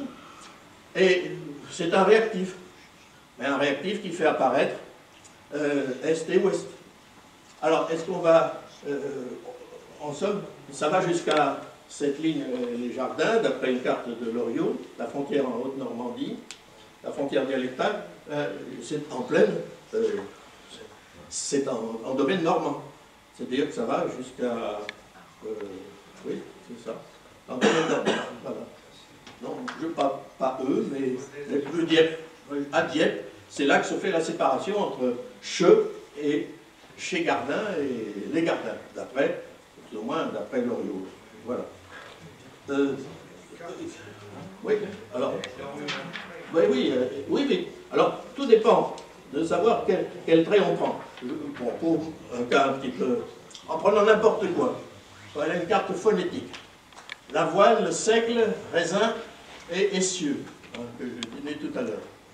Bon, en vert, l'avoine, c'est-à-dire dans le nord, Avonne, dans le sud, Avenne, le seigle dans le nord Soile, dans le sud Swell, raisin, Rogin ou Régin, Rogin plutôt, raisin, le maintien de Z, alors que le passage dans le nord. Les cieux, je le disais aussi.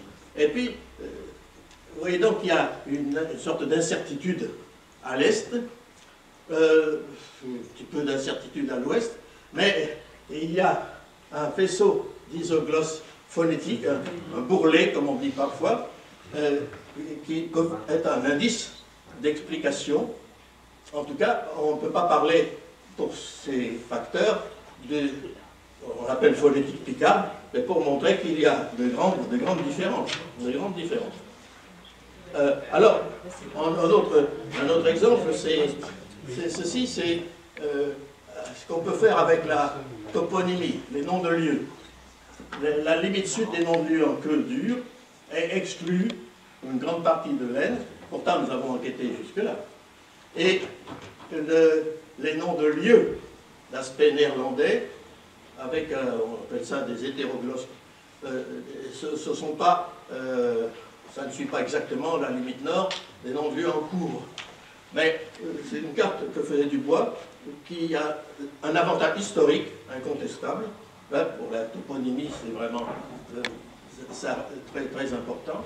Euh, c'est de mon, on l'a mis dans le classe, c'est la carte numéro 2.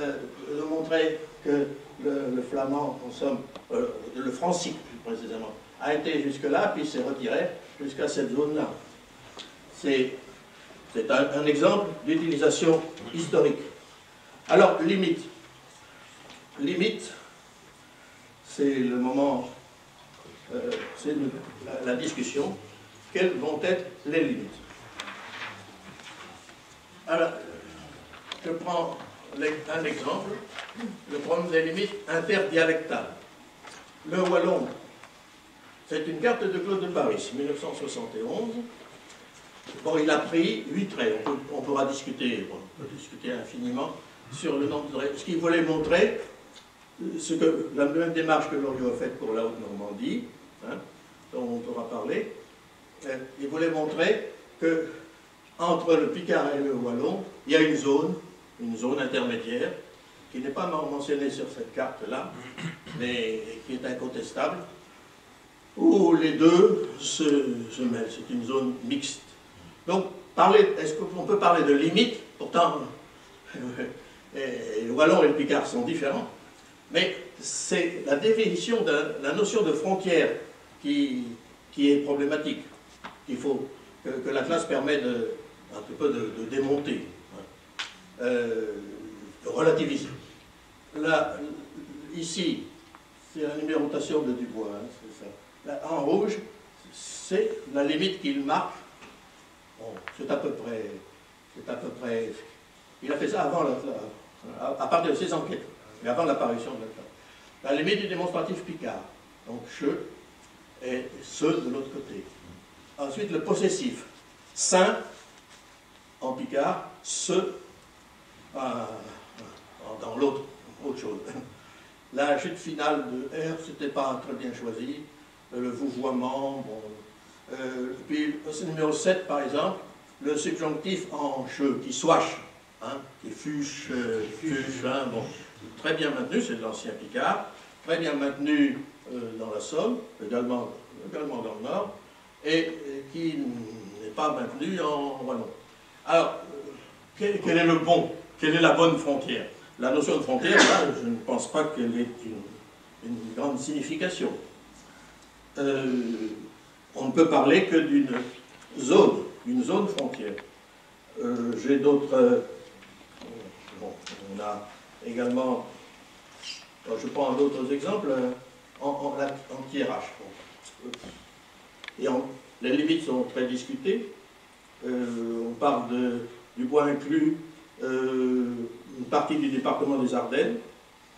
Alors, euh, le DU qui a étudié le Picard d'après euh, l'Atlas linguistique de la France, euh, trouve que l'Oise est une limite géographique. Là, euh, bon, oh, nous ne retrouverons pas, pas du tout, il fait ça d'après l'ALF, et c'est un résultat que nous ne retrouverons pas du tout dans notre Atlas. L'Oise n'est pas une frontière, le Picard n'a pas de frontière naturelle, comme la, France, on peut parler des Alpes, des Pyrénées, grosso modo, bien entendu, mais euh, on ne peut pas donner euh, des frontières naturelles. Euh, je pense qu'il a.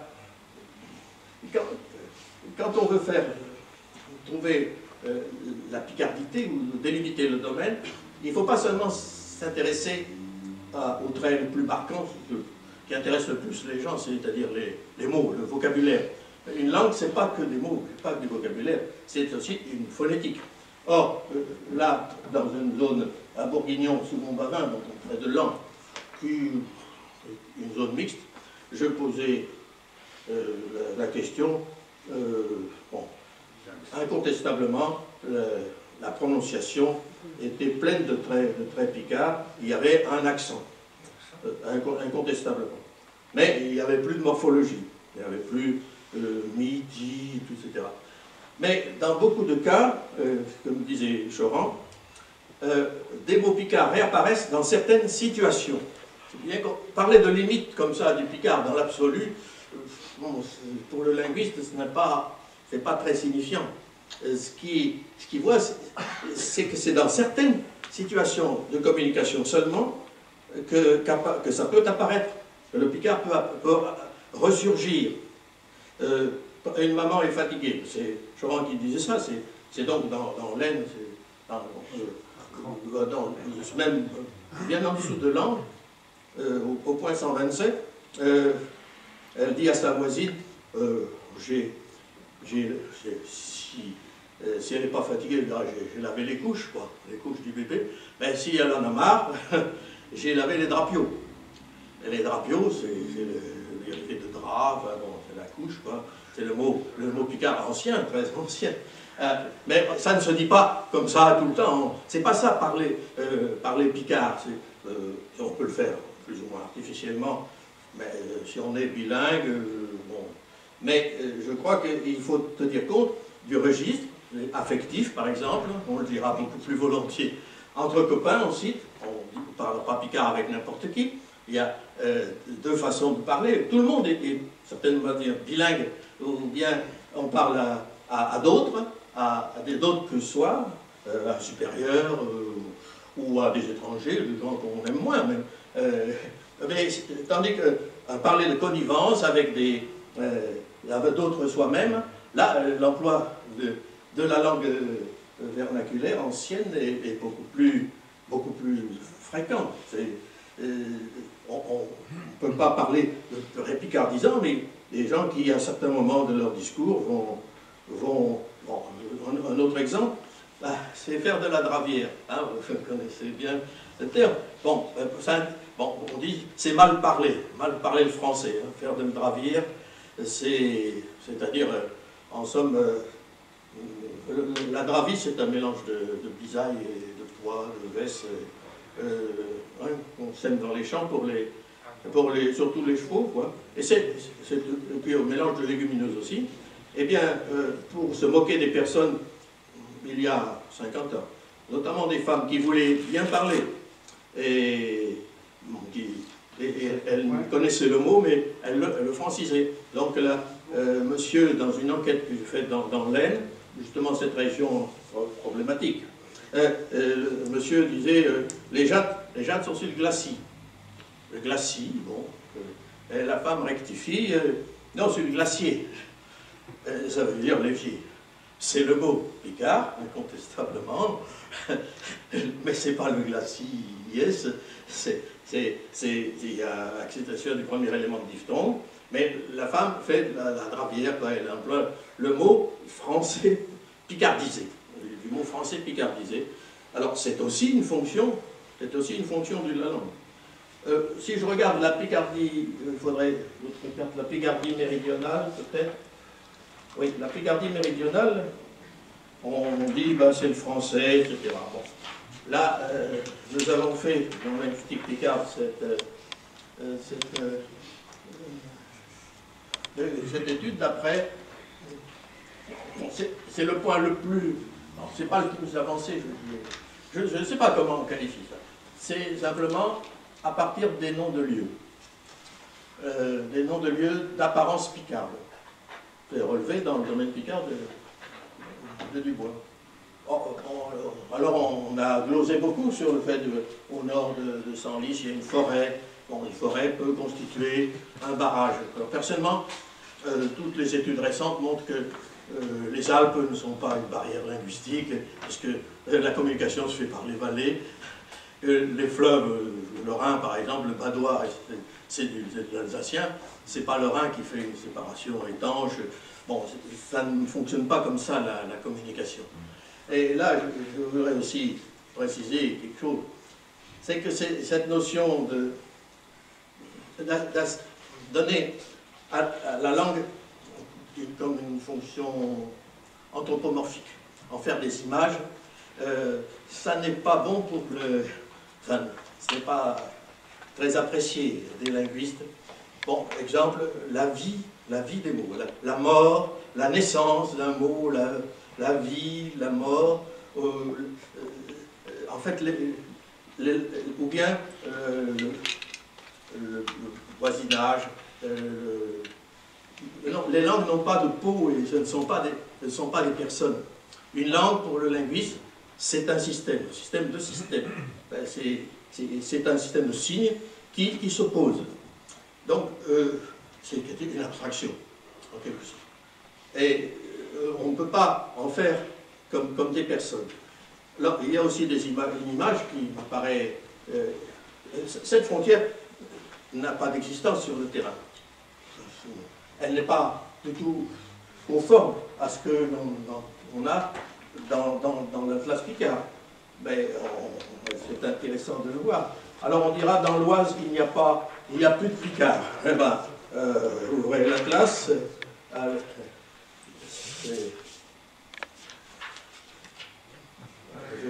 comme il faut. La, la, carte 282, le nom du guide. Bon, dans le nord, euh, c'est pas, pas une carte intéressante. Elle est intéressante surtout dans l'Oise. On a des formes. Euh, bouchon, le même mot que, buisson. On a euh, euh, Morgène, Morvet, Brou. Bon, c'est d'une très grande richesse. Vous voyez la difficulté de faire un atlas Picard, et, on n'aurait pas pensé hein, que ce soit aussi, aussi riche. Hein. Euh, bah oui, parce que euh, l'Atlas, ce n'est pas une somme de monographies, c'est au contraire euh, essayer de voir ce que ça donne dans, dans l'ensemble du domaine.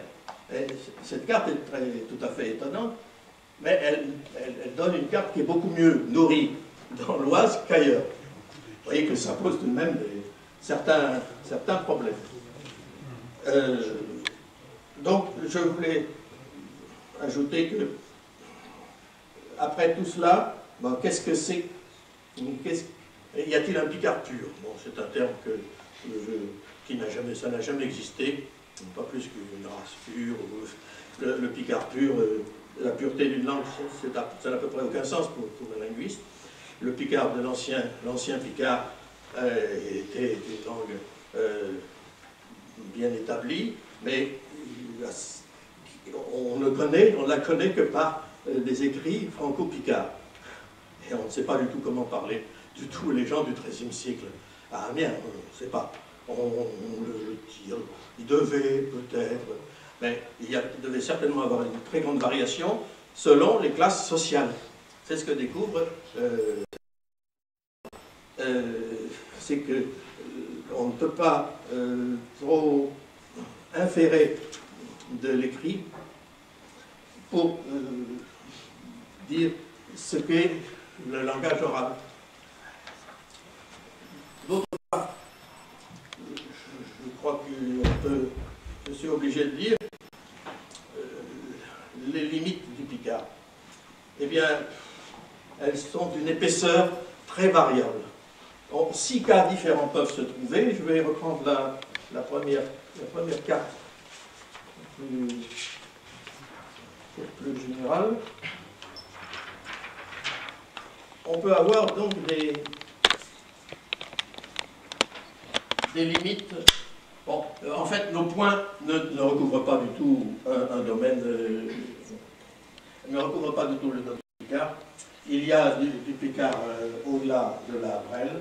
Alors, je commence par là. Hein, euh, on, pensait que c'était la Brelle, qui faisait une limite, une limite naturelle. Cette idée de limite naturelle est totalement abandonnée maintenant. On, Loriot a montré que c'est sur, une dizaine de kilomètres.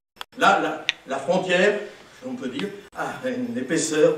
Picard a reculé euh, sous les... Sous... Non, ne croyez pas ça, ce n'est pas vrai du tout le, francien devait exister, c'est une invention de linguiste du, 19e siècle. Il a, a pas, ce n'est pas le dialecte de l'île de France qui est devenu le français, c'est totalement abandonné par les historiens de la langue. Le Picard a reculé sous l'influence du, français central, et non pas du francien. et alors il a reculé, euh, ça dépend euh, sur, quel, domaine il a reculé, mais euh, Ici, on peut parler d'une épaisseur de peut-être 50 km d'une zone où le euh, meurt, on peut dire, pour l'image, anthropomorphique par vagues successives. Hein, bon, une zone, une zone. C'est encore plus, plus confus, encore plus large. Si l'épaisseur de la ligne, c'est 50 km. De même, en, euh, ici, ceci, c'est quasiment, c'est très, très wallon, le, bout de la vélo. Alors, là, j'ai montré la frontière, l'épaisseur de la ligne devrait avoir 100 km. Au contraire, entre le flamand, euh, là je, connais mieux la région de, Saint-Omer, euh, euh, non pas dans la région de Saint-Omer ni, Dunkerque, c'est très confus. Mais la région du, point 16, 15, là c'est notre point 15, l'Incel, et il y a une partie picarde en Belgique. c'est Comines, que je connais bien, c'est près, de chez moi. Là, l'épaisseur de la ligne, c'est 100 mètres. C'est-à-dire que les maisons d'en face, les gens parlent flamand. Le, curé de la paroisse à côté, tout moins il y a 30 ans, faisait serment en flamand. Tandis que la paroisse euh, de ce côté-ci, comme une France, elle faisait serment en français, qui est un, réactif. Donc là, l'épaisseur de la ligne est, très fine parce qu'il s'agit d'une langue autre, d'une langue type germanique. Donc là, c'est beaucoup plus net, de même en Moselle. Mais il y a quand même des vides dialectaux. Hein. Alors, on ne peut que dire ça, les frontières ont une épaisseur variable. Ce, ça ne veut pas dire qu'il n'y en a pas. Seulement, il faudrait abandonner peut-être l'image de la guerre de tranchées. Les avancées et le recul du Picard sont des, expressions recul par rapport aux Français, c'est incontestable, mais il ne faut pas en faire comme ça une tranchée prise, une tranchée... Bon, ce, terme-là pouvait marcher au lendemain, dans les années 20, mais ce n'est pas comme ça que ça fonctionne. Encore une fois, les langues n'ont pas de peau. Ce qu'on étudie maintenant, ce qu'il faut étudier, c'est les, les phénomènes de langue en contact. Alors il y a un, anglais, Tim, Tim Poulet, que je suis, euh, nous faisons un travail ensemble, et ça s'appellera l'histoire sociolinguistique de la métropole lilloise. Il a épousé une Bézienne, etc. Je l'ai pas mal aidé, il est maintenant professeur à Guildford, à, Londres. Il s'est inspiré d'un modèle utilisé, un modèle, ben, il est directologue, mais c'est la génération après, après la mienne. Euh, un modèle qu'il y à Belfast pour étudier le, contact, c'est ça qui intéresse les linguistes maintenant. Tout se passe aux, frontières, c'est pas au centre. Euh, à Belfast, entre l'irlandais, soutenu par des problèmes de langue, et, l'anglais. Et là, il y a un modèle très performant, très compliqué, euh, d'études d'après les classes d'âge, euh, des quantités de données.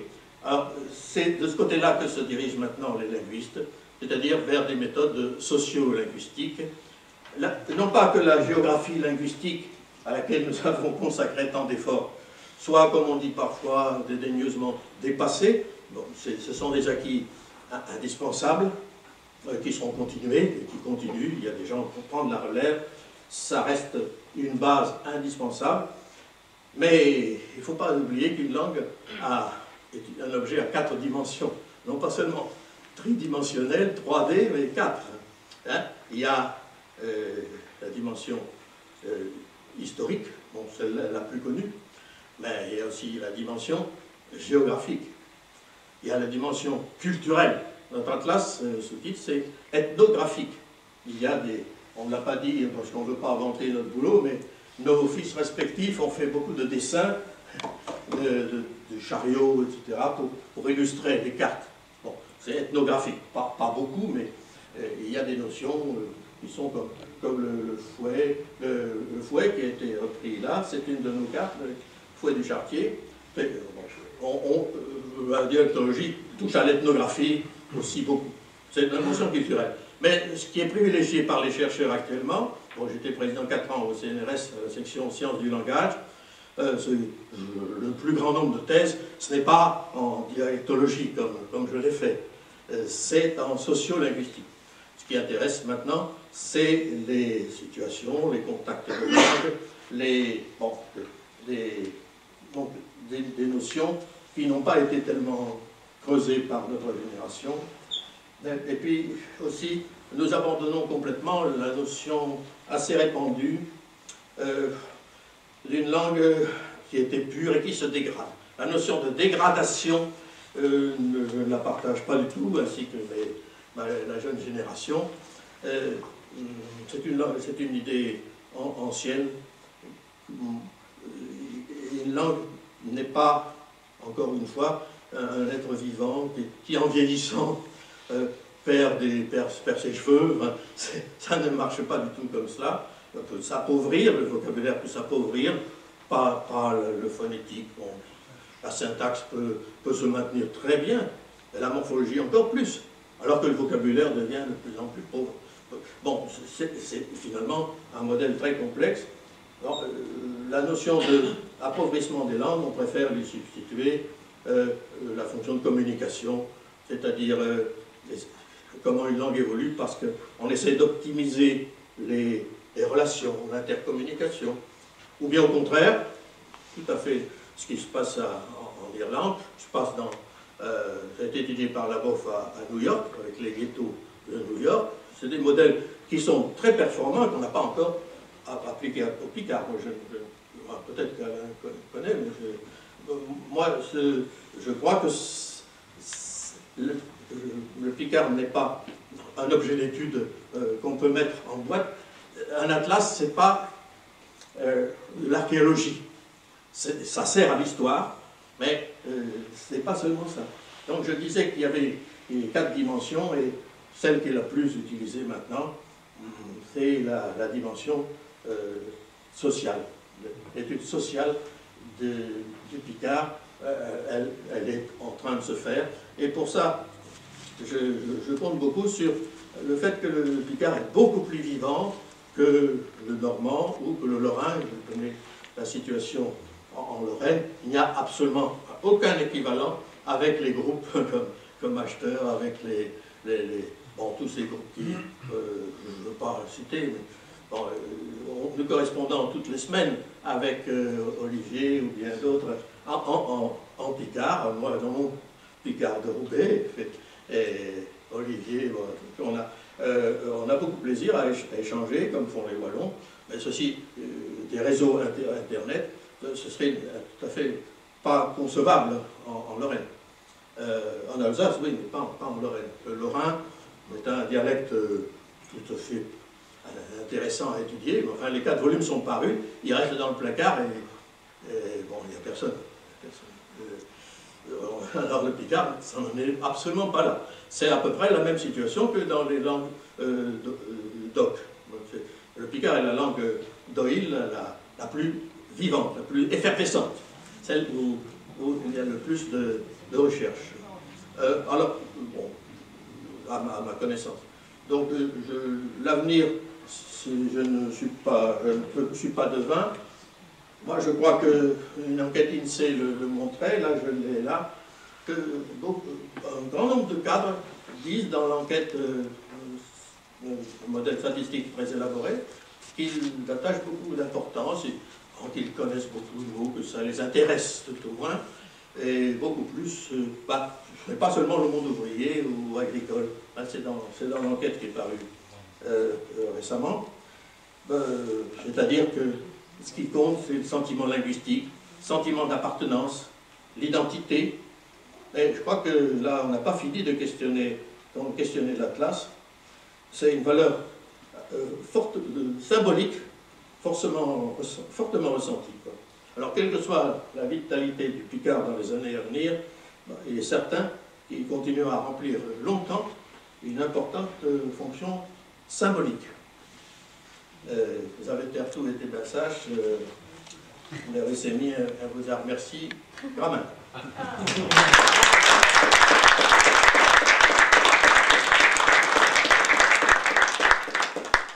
Et on peut discuter.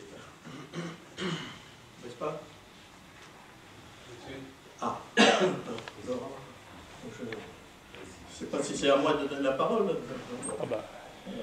Olivier à la caméra. Euh, Laurent Monsieur. Monsieur, on, on donne un micro, non Pas de micro Pas besoin de micro chez les coagulations. Pas de micro, bah non. là. Qu'à pas fort. Qu'à parler fort. Allez-y. C'est une simple curiosité. Oui. oui. Vous avez donné l'exemple, est-ce que tu viendras? Joue, oui. Joue. Oui. Comment se, se termine la phrase? Ah, Joue, oui. joue Bon, ça, ça dépend des points. hein. Euh, moi, ce qui, on est, on est obligé de focaliser sur quelque chose. Hein. Moi, je focalisais là- là-dessus, sur, le, sur le joug, la zone joug. C'est- La carte était faite pour ça. Mais euh, joug te vient, par exemple. Euh, euh, pas forcément te viendra. Euh, euh, qui est là. Euh, ce qui suit, c'est pas, pas inversé. C'est-à-dire, quand il y a joue, il n'y a pas d'inversion du sujet. Comme viendras-tu ou tout ça. Alors comment dit-on Joue, en employant joue, comment dit-on euh, Est-ce que tu viendras? Joue tu verras. Dites-le. Quand je tu vas rond. Voilà, prends le tu vas C'est ça. que tu viendras, c'est. Ça se dit dans le livre aussi ça Oui. Oui. La, la carte, c'est le titre, de la, la question posée, hein, soyons précis, c'est Est-ce que tu viendras? Bon, les gens n'ont pas toujours répondu directement. hein. Euh, Est-ce que tu viendras? Alors, euh, bon, les- les- je peux remettre la carte si vous voulez. Euh, on ne fait pas l'inversion du sujet et on met, on met le futur ou le présent. Ou le présent. euh, voilà. Moi, je peux la retrouver. Joctevaro. Oui, ça, ça me paraît.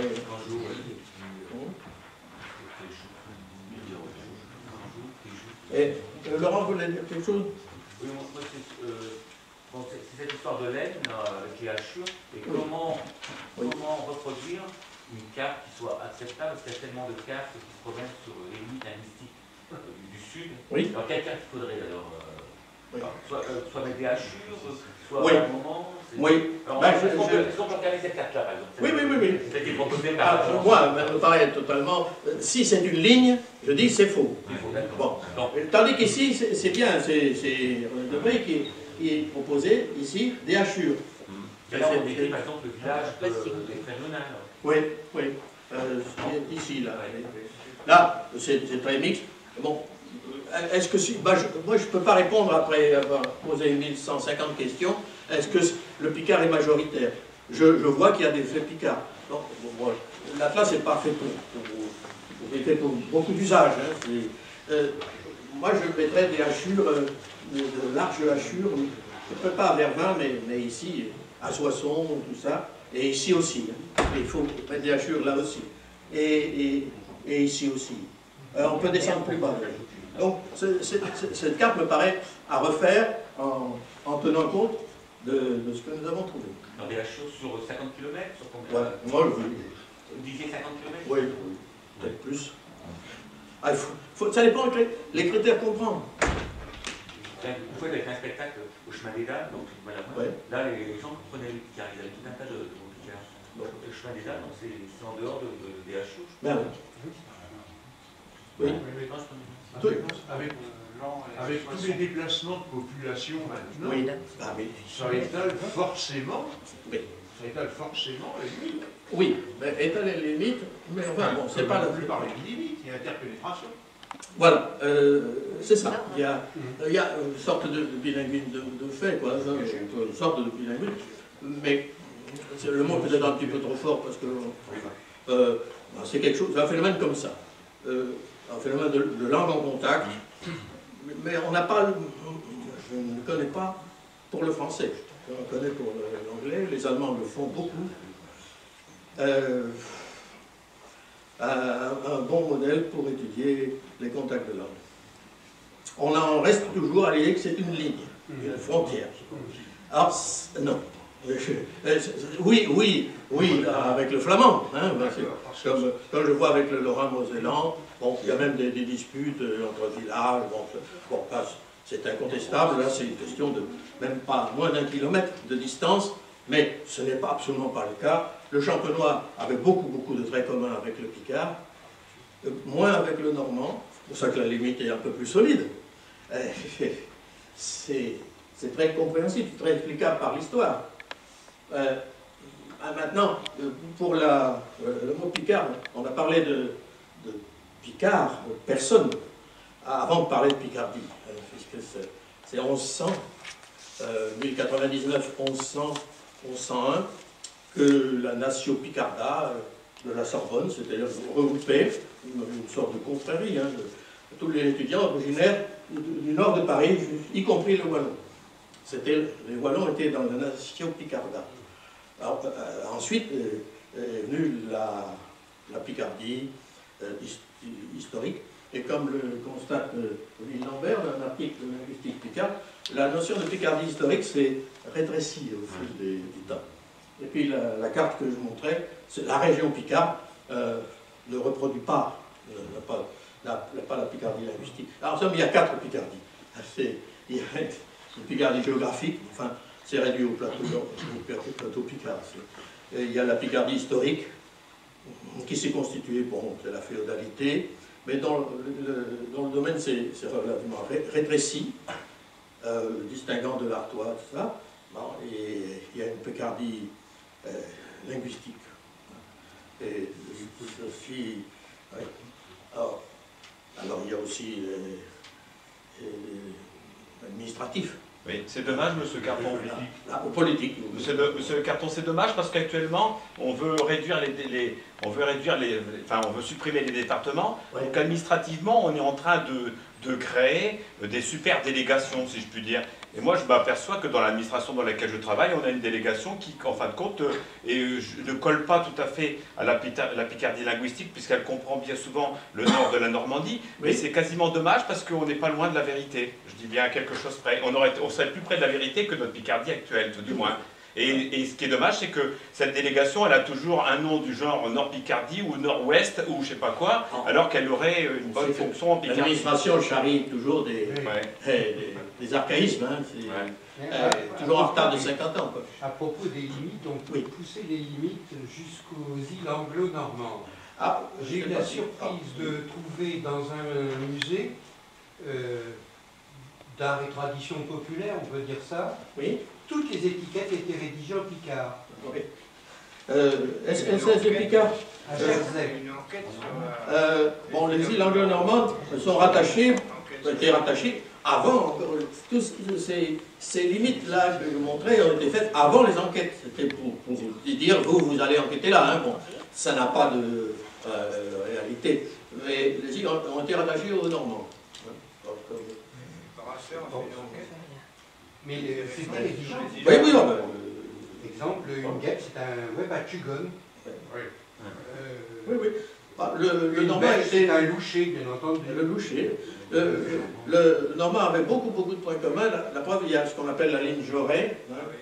C'est une ligne qui était tracée avant, avant la LF, hein, Oui, avant. avant, euh, c'est- et qui reste toujours très valable, qui, qui englobe euh, le- grande partie de la Normandie et, et- et la Picardie, et le Picard euh, euh.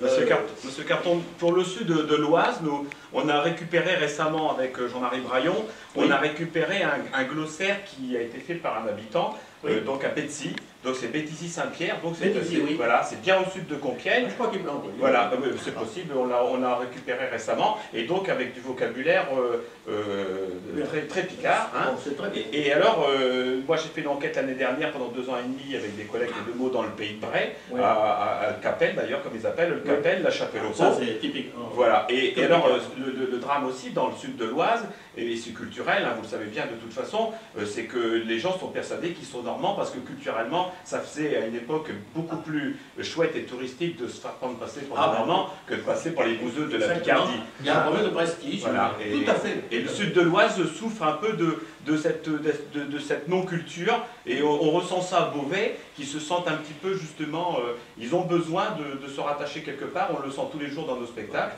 parce qu'ils ils souffrent de, de cette, de, de- de cette picarditude et ce parisianisme, si je peux dire, entre guillemets. Ah ouais.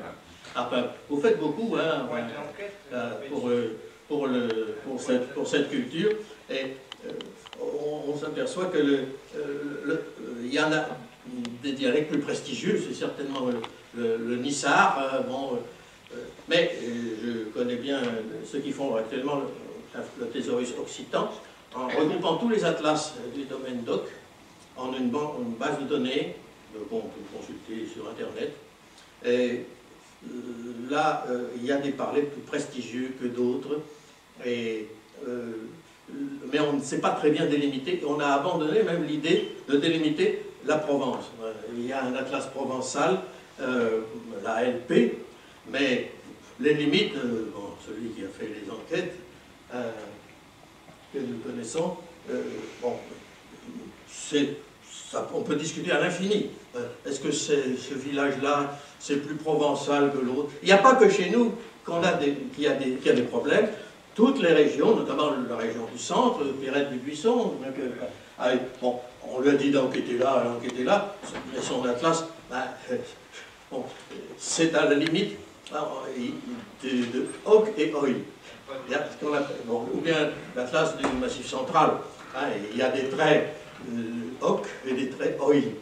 Et ça varie, ça fluctue. Voilà un, un très bon exemple de contact de langue.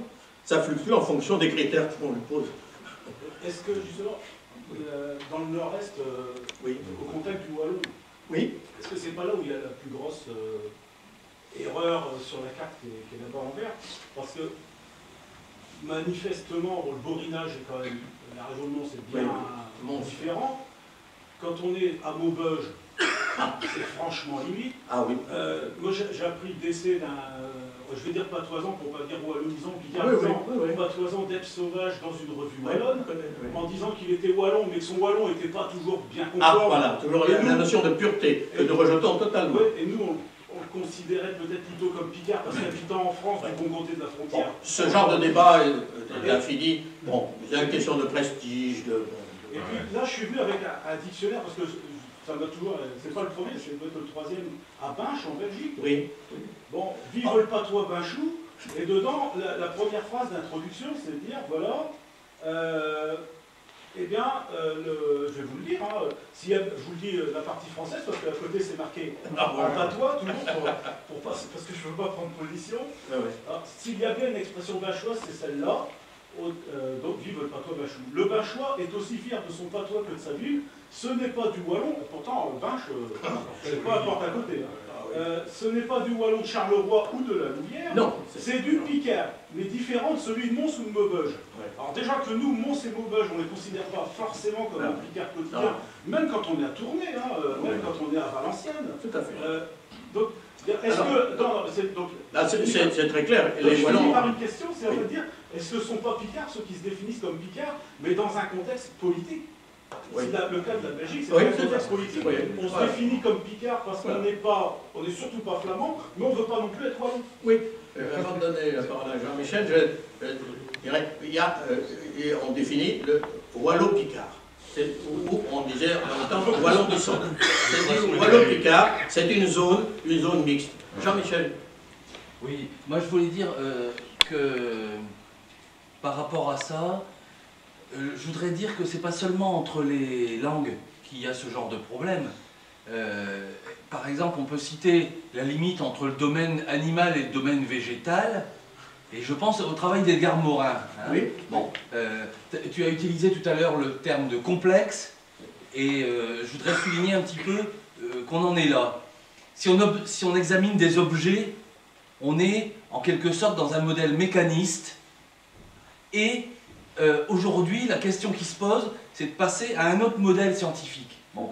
Alors, Edgar Morin, il dit que euh, dans des objets complexes, le centre, le noyau, on l'identifie bien, et les frontières, jamais bien. c'est toujours flou. Et alors Edgar Morin, il travaille euh, aussi bien sur la linguistique que de l'astronomie, de la biologie, tout ce que vous voulez. Et il y a cette image entre le domaine animal et le domaine végétal. On connaît bien la différence quand on travaille sur le, chien, sur le cœur du domaine, mais à la limite, il y a des bestioles euh, dont on ne sait pas si elles sont des plantes et vice-versa. Bon. Exactement comme euh, Picard est Voilà. aussi un objet. Donc objet ça, ça définit des objets complexes. Et puis alors, il y a un deuxième caractère. il y a un deuxième caractère de l'objet complexe, et je trouve que euh, Fernand Carton a vraiment euh, complètement euh, expliqué en quoi, en quoi ça consiste. Je vous disais, dans le modèle mécaniste, quand on pense, normalement, si on sait ce qu'il y a au départ, on doit pouvoir calculer ce qui est à, l'arrivée. Et ben, dans un modèle complexe, on sait ce qu'il y a au départ, il y a quand même des réalités qu'on trouve sur le terrain, c'est des enquêtes qui nous disent, oui, euh, dans tel village, on trouve telle forme, par exemple. Bon. Et puis à l'arrivée, on ne sait pas ce qui va se passer, parce que, chemin faisant, les gens changent les règles du jeu. Ce qui fait que euh, la, la langue, au total, elle est cet ensemble complexe qui est fait de réalité et de ce que les gens en font. Autrement dit, si, ils, refont les règles du jeu à chaque fois qu'ils ouvrent le bec.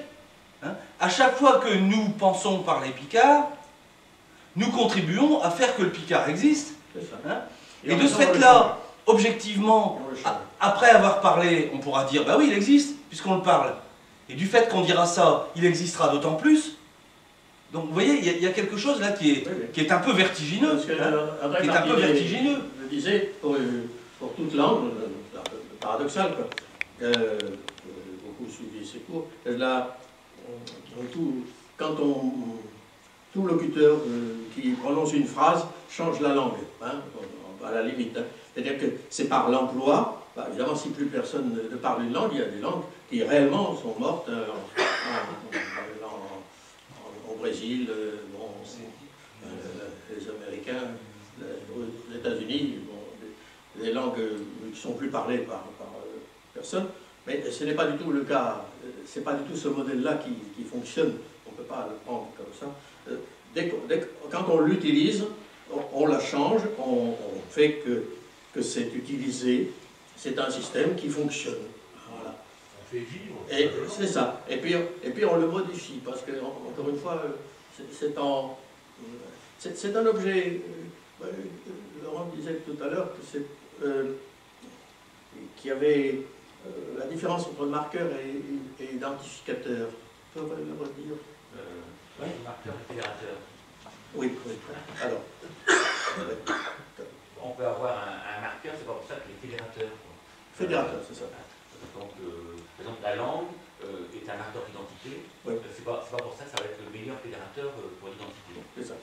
Encore une fois, il y a, faut distinguer l'identité, c'est social, et c'est culturel. Je dis quatre dimensions, que le culturel, le social, c'est pas tout à fait pareil, l'historique et, le géographique. Si on ajoute aussi l'administratif, qui a de l'importance aussi hein, pour, ben, le, français, et, l'économique aussi, pourquoi pas, le politico-économique. tous ces facteurs font que bon, euh, la classe peut, est une contribution, je dirais, euh, nécessaire, on, l'a fait, ce n'est pas fini parce que le, la, sub S sera sur Internet. Euh, mesure bon, j'ai des consultations hebdomadaires de gens. Hein, on a un exemple d'une professeure à Indiana University, aux États-Unis. bon, elle vient souvent dans le Vimeux. Hein, bon, je lis, je Auger elle travaille sur le démonstratif en comparant au québécois et le démonstratif euh, article dans le Picard. Euh, je, discute avec elle, je ne suis pas d'accord sur... Euh, c'est toujours cette, on revient toujours à cette notion de, de picarture. Bon, en fait, ça, n'existe pas. elle, pense que il ne faut pas stigmatiser ceux qui parlent mal le picard. Bon, là, je partage tout à fait ce sentiment. C'est-à-dire, euh, on dit des, belles pommes, des belles, des belles épines. C'est-à-dire que c'est le as latin qui est devenu et, donc ça sert de, au féminin pluriel. Des belles épines, des belles épines, euh, c'est très courant dans, le nord, mais euh, également dans d'autres régions. Alors, maintenant, hmm, beaucoup, eux qui veulent parler, parler picard, disent une belle pomme. Je vois chez quelqu'un euh, quelqu'un qui m'a envoyé ses, vers la semaine dernière. C'est des choses qui sont vraiment très, très actuelles. Je ne parle pas du, temps passé, je ne fais pas de l'archéologie. Quelqu'un qui écrit, bon, je pense, de se mettre à passer à, à Vigneux pour, pour le Chlancheron. Bon. Lui, il croit que c'est il est temps, il met un bel parce que c'est plus, plus patois. Dans sa tête, c'est plus patois, c'est mieux. des belles pommes, c'est trop français. Il, il, rajoute des trucs qui n'ont pas lieu d'être, puisque ça ne veut dire qu'au féminin pluriel. Il il y a bon, j'appelle ça un hyper-dialectisme. C'est comme les gens qui mettent des C'est comme ça que le Picard bouge. Hein, c'est comme les gens qui mettent des circonflexes partout en français. Ah, Parce que comme ça, ça fait bien ah, euh, C'est sûr que les, écrivains euh, qui veulent faire populaire, euh, Carpo, bon, il suffit de mettre quelques apostrophes pour, que ça devienne de l'oralité. c'est pas, pas comme ça que ça fonctionne. Les, bah, pas tous les ans, je crois, obligé de mettre beaucoup, beaucoup d'apostrophes ou bien des, hyper-picardismes qui n'ont pas lieu d'être. Faut-il les, stigmatiser? Bah, Je l'ai pensé, je ne le pense plus. des fautes de Picard. Bon, J'interroge tous ceux qui sont dans les milieux associatifs ou, créatifs là-dedans. Faut-il combattre le, trop, le trop, ou bien faut-il combattre aussi ce qui est emprunté à d'autres régions. Euh, il y en a beaucoup qui le, font. Moi, finalement, je ne le pense plus. Moi, ce qui m'intrigue, c'est le noyau. Ah. Vous, avez, vous avez forcément un noyau puisque vous cherchez des marges. Oui. Ah oui, oui, oui. Ce noyau, ah, ce que noyau, ce noyau est changeant. Oui. Ah, il change en lui-même. Oui. Euh, ah non, non, il faut d'abord voir si au point de vue historique. Hein. Bon. Enfin, bon. Donc vous partez d'une histoire, d'un moment donné de la langue. Un atlas comme ça devrait être fait euh, périodiquement Ah oui Oui, bah oui, je ne sais pas, enfin pas partout. non mais, euh, non, mais euh, on, peut, on peut comparer sur 50 ans. C'est-à-dire avec ce qui a été obtenu dans la classe linguistique de la France en 1901 et, et, et maintenant. un noyau, bah, le noyau, si on interroge la littérature au Moyen Âge, bah, il y avait à Lille, euh, au XIIIe siècle, Jean Baudel à Arras, euh, Adam de la Halle, il y avait aussi à Amiens, mais il y avait à Saint-Quentin, au XVIIe siècle, euh, dans, les dix, dans les dix poèmes édités par, par Flutre, dans les années 1640-1660, bah, c'est plutôt euh, au XVIIe siècle. Hein. C'est la région ici de. Il y en a de, du nord de Douai, il y a de, Cambrai, de Saint-Quentin. C'est ici qu'il y a une majorité d'écrits en picard moderne au XVIIe siècle. J'ai fait une conférence il y a deux ans là, sur la. Euh, parler de la littérature du XVIIe siècle.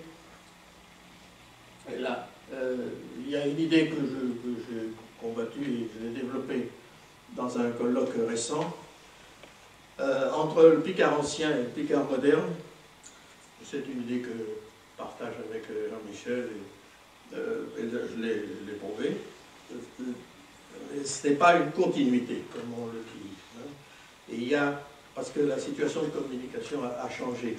On ne faisait pas attention à ces notions-là il, y a 50 ans on disait, c'est la continuité, c'est le même Picard. Euh, bon, mais l'utilisation n'est pas du tout la même. C'était une. Au Moyen-Âge, on écrivait forcément mixte, on appelle ça une coïnée, mixte franco-picard. Pour les actes administratifs, etc., c'était destiné à la circulation. Ou bien euh, Philippe de Comines écrivait en franco-picard. Alors la situation change complètement.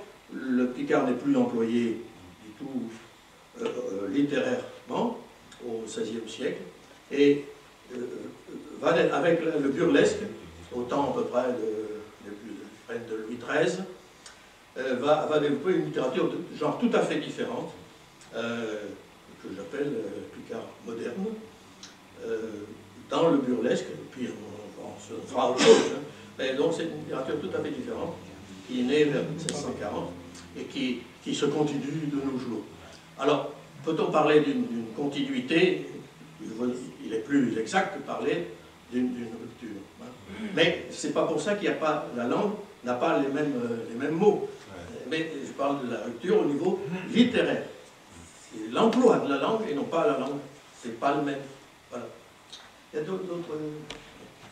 Oui, est-ce que... Je voudrais juste réagir sur cette euh, question du noyau. Ah oui. Euh, je n'ai pas répondu. si, si, mais elle a apporté une, autre réponse ou un autre éclairage Enfin, à la lumière des choses que je suis encore en, train d'étudier. Oui. Euh, je pense quand même qu'on peut trouver, au moins au niveau phonétique et, phonologique, on peut trouver quelque chose qui ressemblerait dans certains cas au, noyau, à un noyau invariant, hein, qui n'est pas, oui, qui n'est pas si variable que ça. Je vais prendre juste un exemple, c'est euh, une variation qui, paraît euh, forte entre, euh, par exemple, le, verbe tomber. Hein. Ici, Jean Amino, on dit chair. Hein, chair. choix. C'est choix. Attention de, de votre chair. De votre chair. Et, dans le Nord, on dit plutôt care.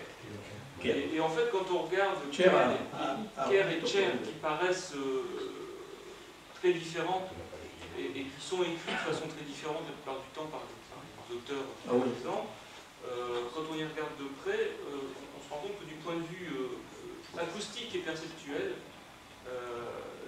il y, a, vraiment une grande ressemblance. C'est-à-dire qu'entre le, le, le, ça c'est la, prononciation. Et, ce serait plutôt à chercher de ce côté-là. Du côté de la prononciation.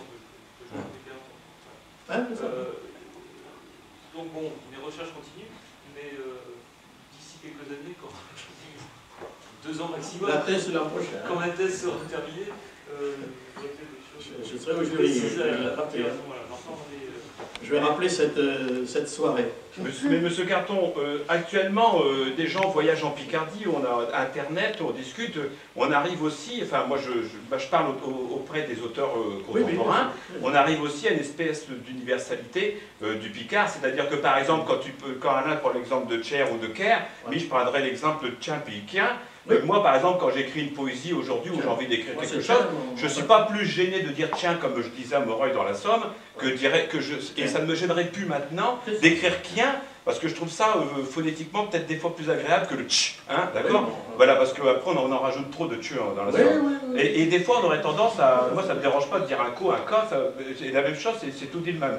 Donc en fin de compte, euh, je me demande même si notre génération, avec Internet, nos sites de discussion, nous, on n'est pas en train aussi d'universaliser la langue et de faire qu'en fin de compte, euh, on va emprunter les mots qui nous, qui, qui, qui, nous plaît, qui nous sonnent bien, ou qui même peut-être des fois nous arrangent dans la rime tout simplement de la poésie ou de la chanson qu'on est en train d'écrire. Alors euh, bon, c'est un vrai problème, hein. mais tu vois, ça, ça revient à, est-ce qu'il y a un Picard pur Est-ce que, parce que c'est local, c'est plus pur parce que c'est local? On le pensait, hein, on le pensait, des gens comme Desrousseaux, tout ça, bon... C'était pas le bon exemple du Picard pur d'ailleurs. Hein. Mais non, hein euh, moi je crois que cette notion de pureté ne doit pas s'appliquer. Il faut laisser les choses. Ni, le français, le, bon, la notion de bon français, ce sont, ce sont des usages. C'est-à-dire c'est reconnu par une autorité, généralement supérieure, qui dit ça c'est bon et ça c'est pas bon. les linguistes euh, ne sont pas des, euh, ne sont pas là pour imposer une norme et pour observer. Alors La notion de pureté, je crois qu'il faut prendre garde. Ah, puis, puis, M. Carton, c'est intéressant aussi. Quand on est euh, un, Picard, dans la Picarditude, c'est intéressant de dire, tiens, on dit une pomme dans le Somme, et puis de découvrir que 30 km autour de Beauvais, on dit une truche, que oui, dans le Somme, je connaissais ratrucher, mais je ne connaissais pas un truche. Alors je me dis, pourquoi je ne prendrais pas une truche Parce que quand je ratruchais, c'était souvent un plat de pommes de terre, par exemple. Donc, je ne vois pas pourquoi je mettrais une pomme de terre et puis que je ratruchais une pomme de terre. Bon, c'est un peu... Oui, oui, tout à fait. c'est vrai Non, mais Ah, c'est pas les mêmes. Hein. Si on raffine, il y, a des, y a patates et patates. Et donc, moi, je trouve que c'est intéressant que quand on connaît un autre mot, alors, je, partage cette, idée qu'on peut prendre son bien, c'est ce que faisait le brouteux de Tourcoing, qui allait chercher des mots wallons, et, mais qui a tout mis ça à la sauce tourquenoise, avec... Euh, avec quel brouette hein?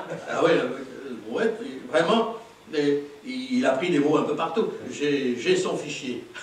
il y a des mots il, trouvait bien, non, ce truc il le faisait, hein, j'ai la preuve. Hein.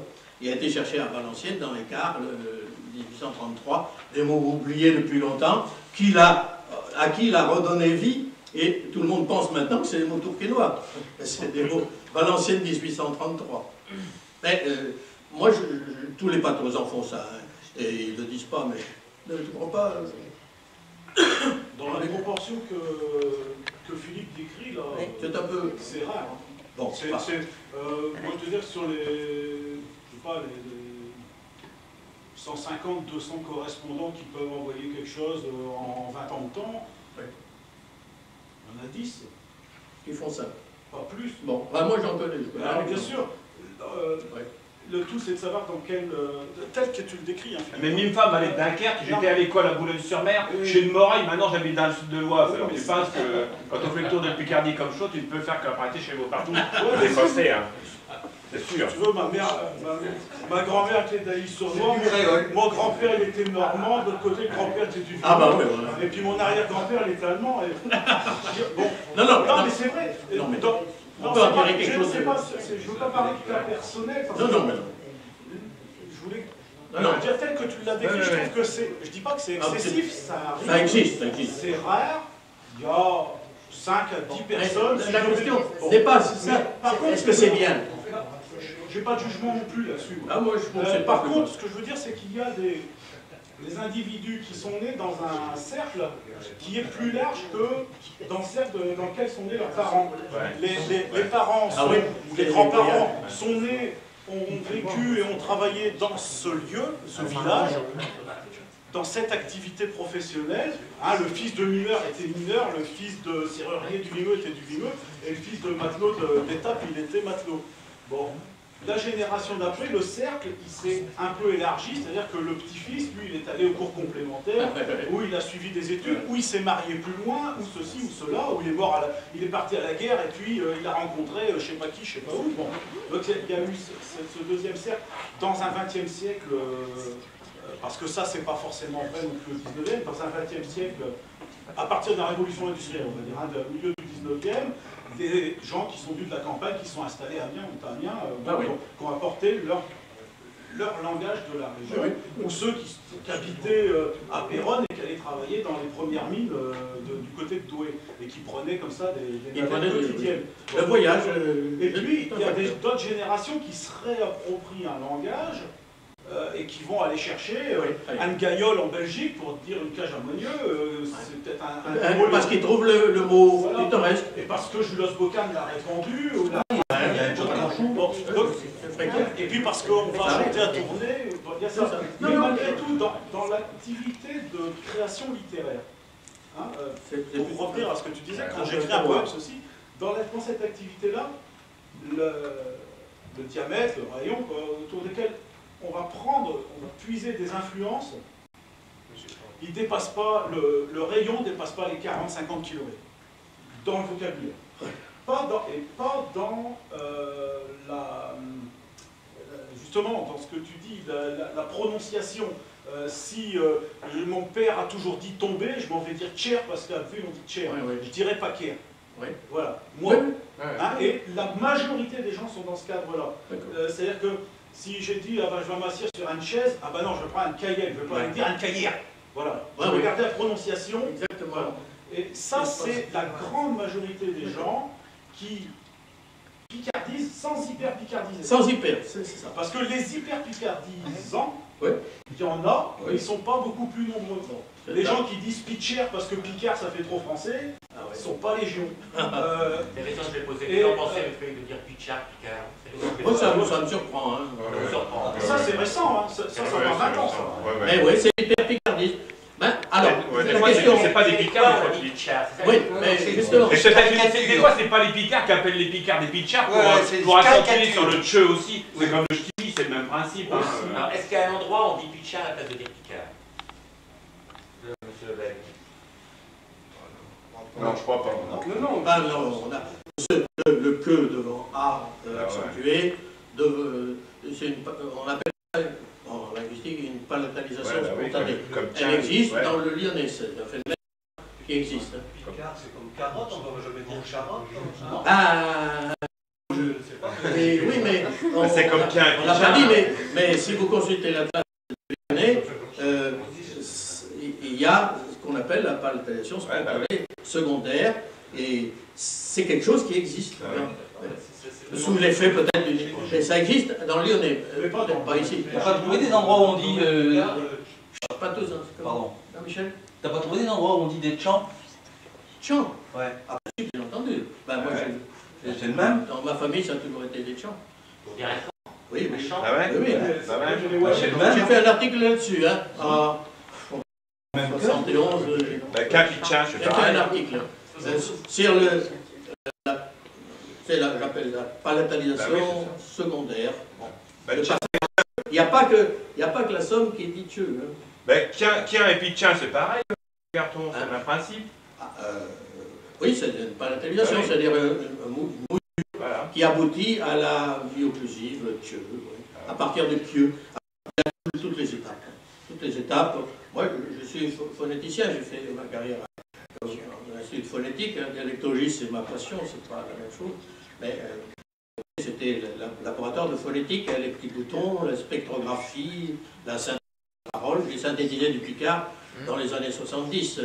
Euh, on s'aperçoit que c'est un continuum, hein, c'est- pas euh, phonologie, c'est hein, la, la phonétique fonctionnelle qui coupe les choses comme ça. On est bien obligé de noter d'une certaine manière, mais la réalité acoustique qu'on voit sur un, un tracé, un oscillogramme, ou un- bon, c'est entre que, que, que, etc. et que, infinité d'étapes intermédiaires.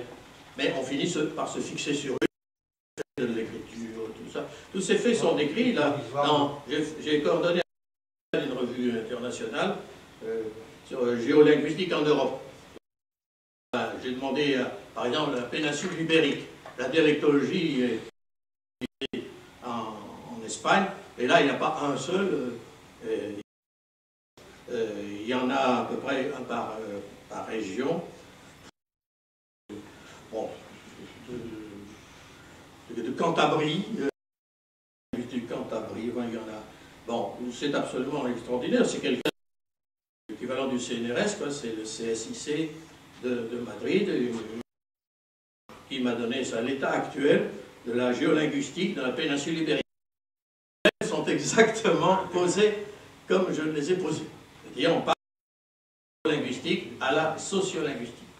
Euh, c'est pas faire un carton. hein. J'ai- aussi des études euh, euh, très, très, très, très poussées, beaucoup plus poussées que nous avons en France, sur euh, les nouveaux atlas euh, euh, allemands, l'atlas rhénan. L'atlas. On a repris ça par classe d'âge. C'est extrêmement compliqué, en distinguant les jeunes qui restent dans la campagne, qui ne parlent pas, parce que les dialectes là, c'est beaucoup plus important que- qu'en France. En Allemagne, les dialectes ne sont pas du tout rabaissés au niveau de patois. C'est intraduisible, donc patois en allemand, ça n'a pas de sens. Euh, c'est- pas du tout comme ça que ça, se pense. Euh, un langage inférieur, les Bavarois sont très fiers de leur accent, euh, qui roule les airs. Bon. Et puis la classe rhénan, ben, on distingue les, les, ruraux, les nouveaux ruraux, qui n'ont pas la même prononciation, le même vocabulaire. Et, et on peut, et ça, se fait l'atlas. Et il est doublé aussi par un site internet comme celui que, je suis en train de monter. Voilà. Et bon, c'est pour, c'est pas pour les Picards seulement, hein, c'est pour euh, tous ceux qui s'intéressent à la situation ici. Et il y a beaucoup, beaucoup de monde. Euh, Un, japonais qui ah, enseigne le français à, à Kanazawa, bon, mais il, veut savoir, euh, il faut que je, je fasse un mail pour savoir ce que j'ai dit ce soir. Vous voyez, c'est- euh, bon, non, c'est parce qu'on croit toujours, on est minorisé, ben, euh, c'est du passé, c'est des trucs de vieux. euh, ben, euh, c'est pas comme ça dans tous les pays, je peux vous le dire. Mais Voilà. monsieur, monsieur Carton, cela dit, euh, peu importe les manières dont on parle picard, euh, que ce soit du Vimeux, que ce soit du Nord, euh, que ce soit du Sud, que ce soit méridional, que ce soit euh, dans un coin bien précis ou Oui. universel, on est quand même aujourd'hui en train de faire le passé de demain, monsieur Carton. Hein, C'est-à-dire que les gens de demain, peut-être, auront toujours le sentiment qu'on a parlé comme ça en Picardie, c'est tel parler. On, on, va peut-être universaliser le Picard ah, à l'avenir, peut-être aussi. Non, je ne pas. je crois qu'il garde, comme je le disais, une fonction symbolique pour, pour très longtemps. Donc, il perpétue encore par euh, des décennies, euh, sous une forme sûrement pas la même. Mais nous, c'est pas tellement un conservatoire, parce que euh, l'Atlas n'est pas, une fonction de conservatoire seulement. Hein, c'est un outil pour des recherches. Voilà, à partir des modèles qu'on peut développer à partir de ça, bon, on peut ça sert pour la langue française, mais ça sert aussi pour, pour euh, toutes les discussions sur les contacts de langue, sur le bilinguisme. Euh, il y a énormément de travaux, c'est euh, l'époque comme ça qui le... Donc le Picard est à la mode, voilà. Bon, je crois qu'on veut arriver... Une dernière question, là, La dernière, allez. Comment, alors, comment appelait-on au Moyen-Âge le parler de l'île de France qui était parlé? Oui, il n'y a, pas, a pas de mot parce que ça n'a pas d'identité. Alors, il y a c'est par classe sociale. Il y a, donc, il y a la cour, le parler de la cour, euh, avec une partie de la bourgeoisie, mais ça dépend à quelle époque? Le Moyen-Âge, c'est 10 siècles. Hein. Alors, si on me dit, par exemple, l'époque Conon de Béthune, hein. bon, ça c'est précis, c'est le 13e siècle. Bon, Conon de Béthune, qui a fréquenté la cour, s'est fait rabrouer parce qu'il avait des picardismes. La toi? Euh, Oui, il était euh, Béthune, hein. c'est dans notre domaine picard. Et on l'a raillé, il en a fait euh, un poème. C'est la reine, euh, Aliénor, oui, qui, qui, lui a reproché des picardismes au XIIIe siècle. Alors, parce que la course euh, avait, a développé un modèle de bon usage, bien, bien avant l'Académie française, hein, donc le bon usage, c'est-à-dire un parler qui est désigné arbitrairement hein, comme étant le meilleur, parce qu'il est parlé par les, la classe dirigeante, dans une classe favoriser. Quoi. Comment on l'appelle alors bah, ça c'est le parler de la tour. Alors, le parler de Paris euh, était différent. Et, par exemple, il y a le Sio, un Sio, qu'on peut dire c'est Picard, mais enfin, c'est dans le registre de la, on a ça dans le registre de la taille. Je ne suis pas spécialiste du XIIIe siècle, mais enfin, euh, on a beaucoup de termes techniques euh, employés par le, peuple parisien, qui ne peut-être pas la, à la cour. Et bon, c'est révélé par, les, par certains poèmes. Au XIIIe siècle, on a beaucoup, s'est beaucoup intéressé au langage. Et puis, alors, autour de l'île de France, eh bien, c'est assez simple. Euh, Jusqu'à à 50, bon, même pas combien? À, Saint-Ouen, Montmorency, c'est Picard. C'est-à-dire que le Picard va, jusque Paris, ils allaient au marché de Paris, et c'était du Picard. Euh, tout à fait dans, le, sud de l'Oise. Paris se situe à peu près ici. Euh, il y a des mazarinades, c'était des poèmes contre, contre Mazarin, écrits en Picard, des paysans de Montmorency et de Saint-Ouen. C'est là, c'est intégré, hein, c'est vraiment très, très, parisien. Le Picard descendait jusque-là. À l'ouest, c'est normand. Au, sud de Paris, c'est le parler de l'Orléanais, qui n'est pas plus pur, tout ça, c'est des trucs qui n'ont pas de sens. C'est des, représentations socio sociologiques, ce n'est pas la réalité linguistique. Et puis c'est du champenois à l'est. Il, n'y a pas d'Île-de-France.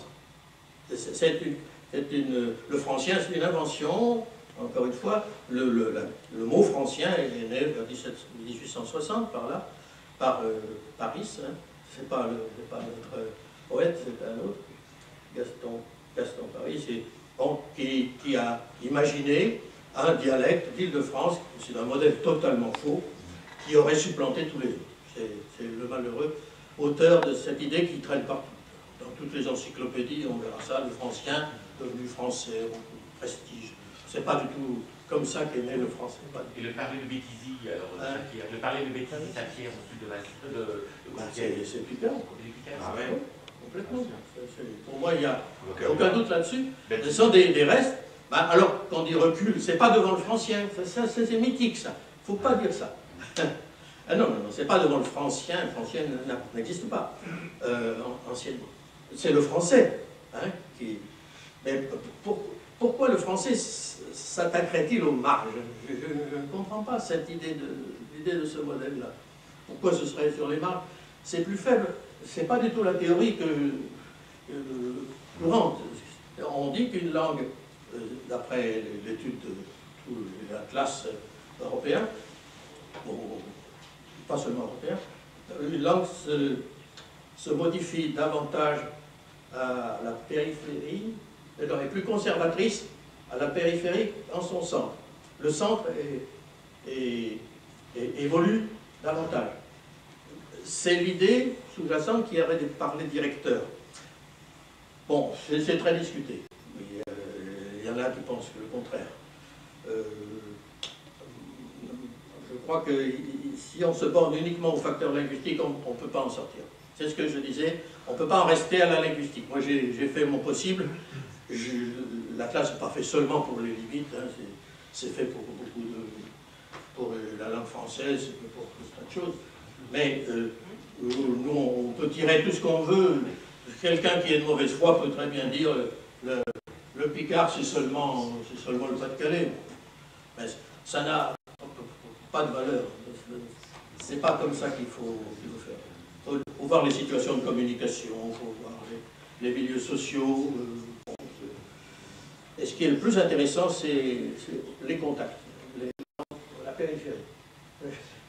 Il y a le noyau, bon, je ne sais pas si je ne suis pas sûr qu'il y ait un noyau. C'est un trou noir. bah, oui, c'est votre question, mais je, je, je, crois pas. Bon, enfin, on peut arrêter là. J'ai un trou noir, on est tous attirés dedans. voilà. Que le